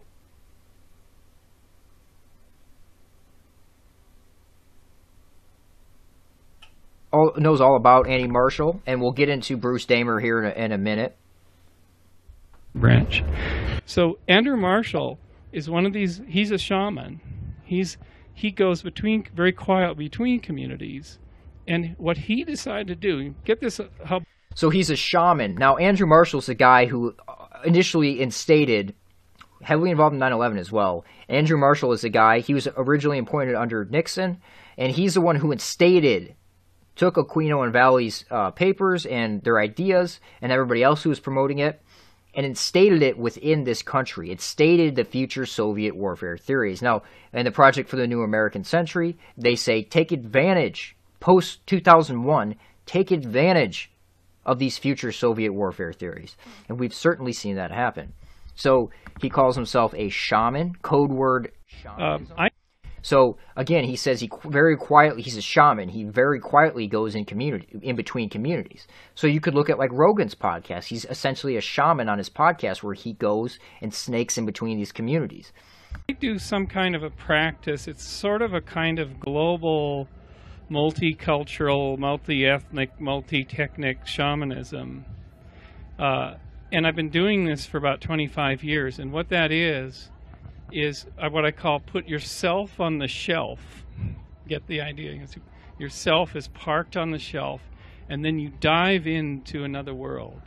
And for me, this has been these delightful worlds of uh, Pentagon think tanks, uh, NASA mission design, etc. Okay? So that's Bruce Damer. And again, like I said, we'll get into him in a moment. Oh, here's from Joe Rogan's podcast. Radar Gerlach? dish. What is Ger- Gerlach? Gerlach. Oh, you haven't been out there, huh? No, Oh. I'm, you know, I love hippies in small doses. Hippies to me are like pizza. You Well, you- know, I just can't. I can't eat pizza every day for like a, a I w- month. I was with, uh, but you can hang around Pentagon, Pentagon people, and Yes, I could probably hang around your camp. But if I went out there with the billionaire really camps dirty with, people, with Sherpas. Sherpas, Sherpas. That's the they brought Sherpas. you know they're they're white people White they're, Sherpas. they're servers for the billionaires in their billionaire camps Oh, that's too much. and they have walls of motorhomes I want to hang out with the hun. So he's at over there at Burning Man, which is another excellent type of deal. Major, major importance with Burning Man. And he has these white slaves that are serving the billionaires in their billionaire class, which is what he is, high level DOD, uh, etc. And he wants Joe Rogan to come out with him. Now, I also want you to to uh, look at that shirt, Mad Scientist. Now, I posted this interview in my co- uh, community section on my YouTube channel. Check that out. And I put an emphasis on Mad Scientist. I said, Mad or Mao Scientist for a better tomorrow. Um, and and that was long before, a couple weeks before the Joe Rogan podcast with Alex Jones. Let's listen to what Alex had to say. They're making their move right now. Who's So- they? The globalist technocracy, the mad scientists, the guys that are want to learn the secrets of the universe, So probably already saying. So we The mad scientists. Interesting statement there, Alex. The mad scientists. So, this is Bruce Damer with. I I might as well just get all this out of the way right now. This is Bruce Damer talking to Joe about Dennis. There's only been uh, two people ever that Dennis McKenna has rec- recommended for this podcast you and Josh Wickerham. So that puts you in very lofty company. Aye, aye. Dennis McKenna recommended Bruce Damer on Joe Rogan's podcast. Interesting. Dennis McKenna, of course, heavily involved in MAPS and everything we've covered. You know what I here's a secret that I'll tell you on here. Oh, well, it won't be a secret. It secret. won't be a secret. Might So- want to mime it. So Dennis hasn't been to Burning Man. Dennis McKenna. Good. Me and him, same page. So I Two I- old guys who don't want to party with young kids. So I told him that Den- to tell you that Dennis would only go to Burning Man if you went. Oh, did And- you do it the opposite way? I You did the just playing us way. against each other? There you go. Yeah, that doesn't work with me, but thanks. That's sweet. So Gerlach. Is I would go anywhere with him, though. You go anywhere with Dennis. Yeah, I, w- I really would go with him just to talk to him for days. Yeah, yeah, he's he's amazing. The world's most amazing. T- Okay, and then also I wanted to point out there uh, that was total LA vibes by Rogan there. I mean, complete LA. Like, oh, thanks, that was sweet. like, oh, okay, Joe. Um. Anyway, I want to wrap this up or move on to some of the Pentagon connections with Joe and his whole operation here quickly because I was talking about Jones and Mind War and stuff like that. This is interesting. Doom. This is just an interesting connection. Doom was created by the military, initially funded by the U.S. Marine Corps, to train people how to kill other human beings. This is all admitted. You can read articles about it. And who was a major proponent of promoting Doom? Joe Rogan. They also made the video game Quake, which he still promotes. And Alex Jones promotes Doom as well. So, Doom, this is actually one of the most iconic images from when I was younger. I used to see this picture everywhere, and there's the Doom in the background. And there's Alex Jones promoting Doom, wearing the wristband. So, it's like this military, this game created by military intelligence is given to these information age assets to spread to the public. Just like other information and other agendas are given them to spread to the public. Again, Doom. Okay, so I want to move on into Joe Rogan's producer here, real quick. And Joe Rogan's producer, Jamie, is pretty self explanatory to me, or at least should be. Um, now, I want you to ask yourself this question. Joe Rogan has one of the the highest level podcasts out there, and he has a producer that struggles. He's not a very good producer. He's not horrible. He's better than I would be, but he struggles to produce his show. He's always having issues. There's always technical issues. Ask yourself, why would Joe keep someone like that who can't run the show properly at his level? Why is that? Well, first I want to show you this. And I've talked to a lot of people in law enforcement, military. So Joe hangs out with a lot of people in law enforcement and military. Now, this is an interesting story Jamie told on the podcast. Yeah, a friend of my dad in the '80s. He was uh, he was on his way, I believe, to Beirut, and he was being tracked. He found out once he got back. He met Ronald Reagan, and when he met President Reagan, he said, "It's nice to meet you. We've been following you." And he's like, "Ex- ex- "Excuse me, been following me?" Like, "Yeah, we found out there was like a threat like after you." Like, "I think he fainted on the spot or something like that." He had no idea. There was a threat. Yeah, he was just going to deliver hot dogs. His name was Hot Dog Harry. He was trying to like help the troops and stuff. And What was the threat? they were trying to kill him. Jesus yeah, Christ! at one delivering point, hot dogs. Yeah, at one point, a, a, a car pulled up next to him, and a guy with a gun had it like rep to his head, and the, the, the cab guy, the cab driver, thankfully knew it was happening, like took off, and he didn't die. But yeah, Why were they going to kill him just for delivering hot dogs? I don't remember the exact situation. Like they weren't happy he was over there trying to help. So Hot Dog Harry sounds like an intelligence asset to me, and uh, I think that's exactly what he was. Um, for example, let me let me show, do this first.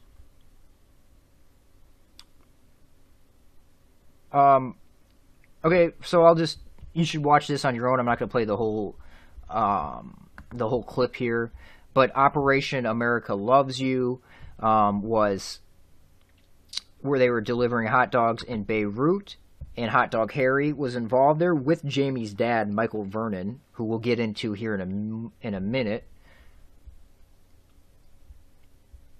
So, book says Israel could have prevented 1983 barracks bombing with AM Spybook Pan. Okay, so or in Lebanon, excuse me, Hot Dog Harry was there a week before the this massive casualty of Marines blown up. And Israel could have prevented it. Now this is the same story over and over again. Israel sets up our American troops to die for their benefit. And hot, you're trying to tell me Hot Dog Harry was there a week before just delivering hot dogs and people were trying to kill him and everything just for delivering hot dogs? Doesn't make sense. Sounds like an intelligence asset. Sounds like a Mossad asset to me. So, let's go to Hot Dog Harry here. Um, let me show you Hot Dog Harry first. So let me show you a picture here of Hot Dog Harry, Jamie's dad's friend, best friend. Here he is. And, of course, he's Jewish. And there he is rocking the CCCP, Soviet Union shirt. He also spent time in the Soviet Union as well. You're trying to tell me he's not a Mossad asset? I mean, give me a break. So this is from his Jamie's dad's um, book about Hot Dog Harry. So this he was uh, he was uh, Barbara Streisand. This is before she was famous. He was um, trying to. He used to sell sewing machines, and he was going to repo her sewing machine. And she asked him if he's Jewish, and he said, "Of course, yes." Harry asked, "Harry, work with me here. I won't let you down." And of course, he worked with her. Today we know her as Miss James Brolin. That's right, the movie star, the legendary singer and producer, Miss Bri- Miss Barbara Streisand. So, of course, he's Jewish and he's working with other Jews. That just shows you how they operate. Um, he met famous people like uh, Truman uh, Capote and Tennessee Williams when he was younger. Um, a Jewish lawyer could help. Being a good Jew, that's what you do. He helped a Jewish lawyer get out of Havana, who helped him. And this was an interesting quote Harry's life is blessed to have the right people come into it at just the right times. Now, that is because he's Jewish, and that's how it works for Jews. They have, they help each other out. It's that simple. And one more quote from Michael Vernon's book, Jamie's Dad, about Hot Dog Harry. Harry explained when he was delivering a sewing machine to the Rothschilds that his parents used to know them in the old country. So Hot Dog Harry used to deliver things to the Rothschilds' house, and he said his parents used to know the Rothschilds in the old country. Interesting connection, Hot Dog Harry.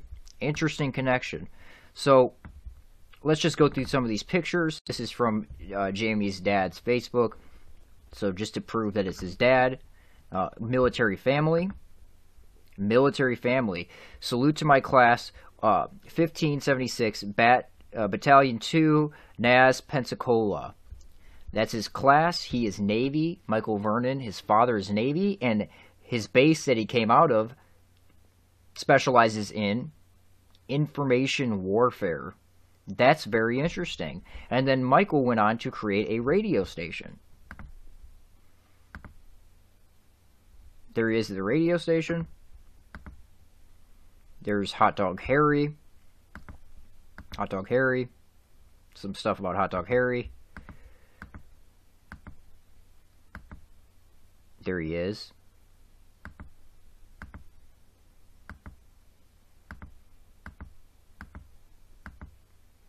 There he is again. Military family. Jamie. Tagged him in it.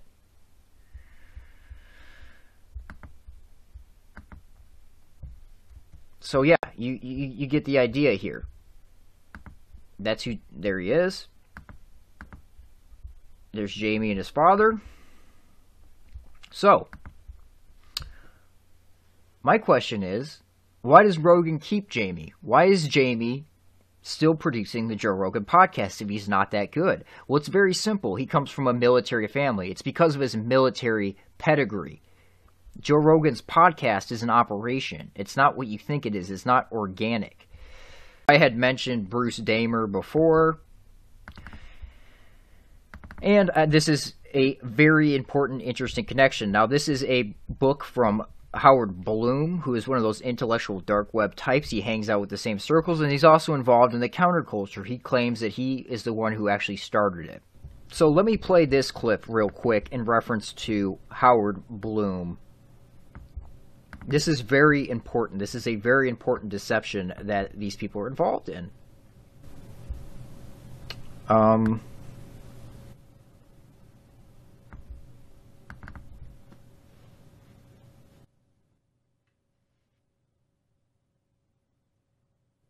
or no, Sunday at the National Space Society's annual event.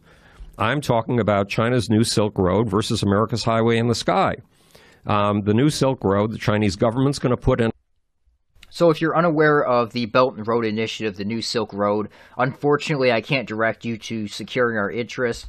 Um, they used to have a wonderful website full of references and articles that you could really dive into it and understand that Israel, China, and Russia are taking over the trade, and, and it's going to be dictated from Israel in the center, like you, the old Clovis map they're taking it over. The Belt and Road Initiative in America's nowhere in the picture. So nobody knows about the Belt and Road Initiative except for this guy. And what he's you'll see what he's banking what, what his solution for it is, but it's really a scam. It's a pipe dream to take away uh, from us actually doing something to prevent this Belt and Road Initiative by creating a space economy.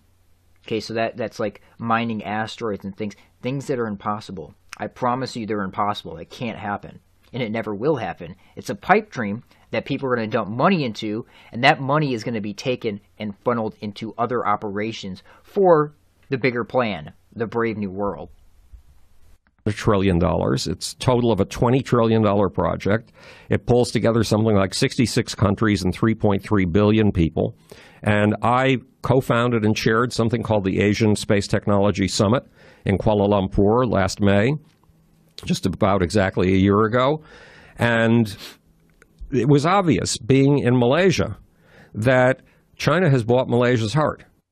That Americans don't count for much anymore because the Chinese are already spending money. They already own 15 to 20 ports. They own 15 to 20 ports. Piraeus, which is the port of Athens, the city that was the cradle of Western civilization, guess who owns it? The Chinese. And they're upgrading these ports to do things that no port we've ever seen before has been able to do. So, because they have a big vision, a really big vision, they're going to dominate the 21st century. Now, what he's leaving out is Israel is the main driver behind all this. And Russia benefits as well. The 20th The Soviet Union benefits as well. was the American century. This is going to be the Chinese century, unless we counter with an equally big vision. And the big visions are not coming from Donald Trump in Washington, D.C., or from senators and congressmen. They are coming from precisely the people you fingered. They're coming from Washington. They're coming from California. They're coming from Elon Musk and Jeff Bezos, the two guys who can save us by opening a platinum highway in the sky. What does that mean? A platinum highway in the sky means a space economy. Okay? To all those who have stimulated and sustained me. And then he includes Bruce Damer. And then, you know, like uh, Timothy Leary is in here somewhere. Um, uh, a lot of the. Okay, so Howard Bloom talking on a message board with Bruce Damer. Now, Bruce Damer is the one who introduced Terence McKenna to virtual reality. He's the one who set up the satellite on Ter- Terence's house in Hawaii, etc. We, we, have been talking about Bruce Damer, the shaman.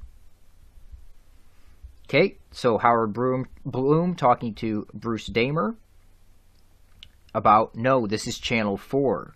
Richard uh, Metzger from disinfo.com. Disinfo.com. Channel 4, disinfo.com. These are big connections here.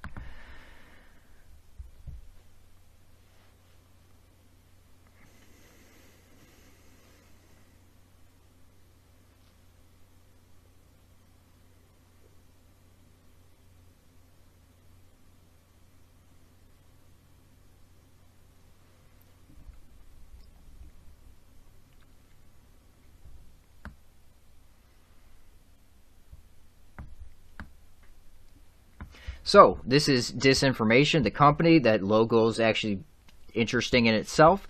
But let's look at key people here. Matt Staggs. Matt Staggs. Who is that? That's Joe Rogan's producer. Okay? Let's just look, pull that up real quick. Twitter. Now, here he is. This is this is Joe Rogan's talent booker, the guy behind the scenes. Okay? There's many guys behind the scenes with Joe Rogan, and this is one of them. And he is a key person with Disinfo, working with Bruce Damer, uh, etc., working with Howard Bloom, Bruce Damer, etc. Channel 4. Now, let's what do we have under documentary films? Endgame, Blueprint for Global Enslavement. That is Alex Jones's film. Now, that Endgame title he took from Paul Vallely, the guy I mentioned before with the so- future Soviet warfare theories. That was a, a, initially coined by him, that Alex Jones took from him. But it's interesting, we see Disinfo working with, right, Joe Rogan's um, talent booker, the guy behind the scenes, working with Alex Jones. Disinfo working with Alex Jones, as well as Channel 4. Now, Channel 4 worked with Jon Ronson. Jon Ronson is the guy who wrote The Men Who Stare at Goats. Now, this is an interesting connection here. Jon Ronson so he, we're just tying this up with some military connections. Jon Ronson is the guy who Alex Jones snuck snuck into Bohemian Grove with. So Jon Ronson, working with the BBC at that point, is the guy who snuck into Bohemian Grove with Alex Jones, which kickstarted him. So here we see Joe or Alex and Jon hanging out. Alex having Jon on his show. And Joe and Jon hang out, and Joe has Jon on his show. Okay, so are we seeing how these networks play in with each other? Um, now, Alex on his last podcast with Joe was talking about how they were in films 20 years ago together. They were in Jon Ronson's films for the BBC or Channel 4, right, working with Disinfo interesting name, right? And then you can go double check Matt Staggs. You can pull up his podcast for Disinfo. He's very interested in concussions, just like Joe is. Very interested in that. You know, I think he'd be interested in my story. Uh, you know, if he was somehow able to. Uh, understand my history, I think he'd be very interested in, in, in my life story. Um, but anyway, they these two work together, and the men who stare at goats. Stubblebine thought that with enough practice he could learn to walk through walls. With a brief uh, encouragement by Lieutenant Jim, uh, Lieutenant Colonel Jim Channon, a Vietnam vet whose post-war experiences at such new age meccas as the Esalen Institute in Big Sur led him to found the first Earth Battalion warrior monks and Jedi Knights. So the men who stare at goats actually comes from the Esalen Institute. Again, we're seeing everything stem from the Esalen Institute. And then, of course, Alex Jones has Stubblebine on because these are the kind of operations. What they really are are Psywar operations. And this is an old email I had. Uh, let me read this to you because the men who stare at goats it's a smokescreen, is what it really is. Here, we, here we see John Ronson, the men who stare at goats. It, that is a smokescreen. Okay, it, it, it's not. It has nothing to do with army guys staring at goats to try to kill them. It's all about subconscious research. So, um, okay, so I quoted from a website. The men who stare at goats actually demonstrates this by briefly, briefly, uh, excuse me, by briefly referencing MK Ultra as if it were shut down when the real program is demonstrated at the end of the film, where Kevin Spacey character is involved in private psyops through ex- explicit cultural creation. So it's a shift. What we're seeing is a shift. So I say this is one of my favorite examples to use because it shows what force-fed programs ultimately end up becoming regardless of what you think about their origins. I think I personally think the quote staring at goats narrative is a cover, not a major project. The major projects were never ended. If you study Aquino, one of his favorite tactics is deflection. Example, it happened but not like you think it did. It was really about staring at goats to see if you could kill them, not about thought architecture and mind control research. He would use this tactic by publishing papers via the Stanford Tavistock Institute. He would publish papers discrediting um, narratives like Stereo Goats or like the Stargate stuff, which ties in with all that. He would uh, publish papers via Stanford, which is Tavistock, doing psychological research to deflect from the real programs that were going on. Say they're studying trickery, illusions, and ultimately how to uh, deceive the human subconscious, mind slash subconscious. Aquino says they're studying stage magic and spoon bending, real, which are often real, poorly funded programs, but they're only in place for cover, for a smokescreen. You really think the U.S. Army is going to dump funding into spoon bending, to a spoon bending program for practical use? Of course not. They're cover stories.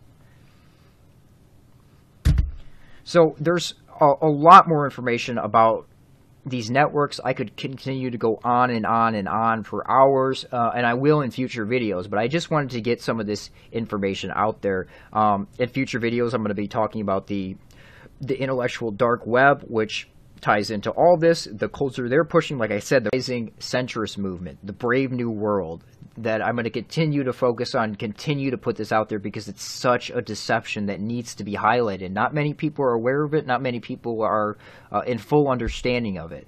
Um, so with that, uh, I'll say uh, goodbye and uh, good luck.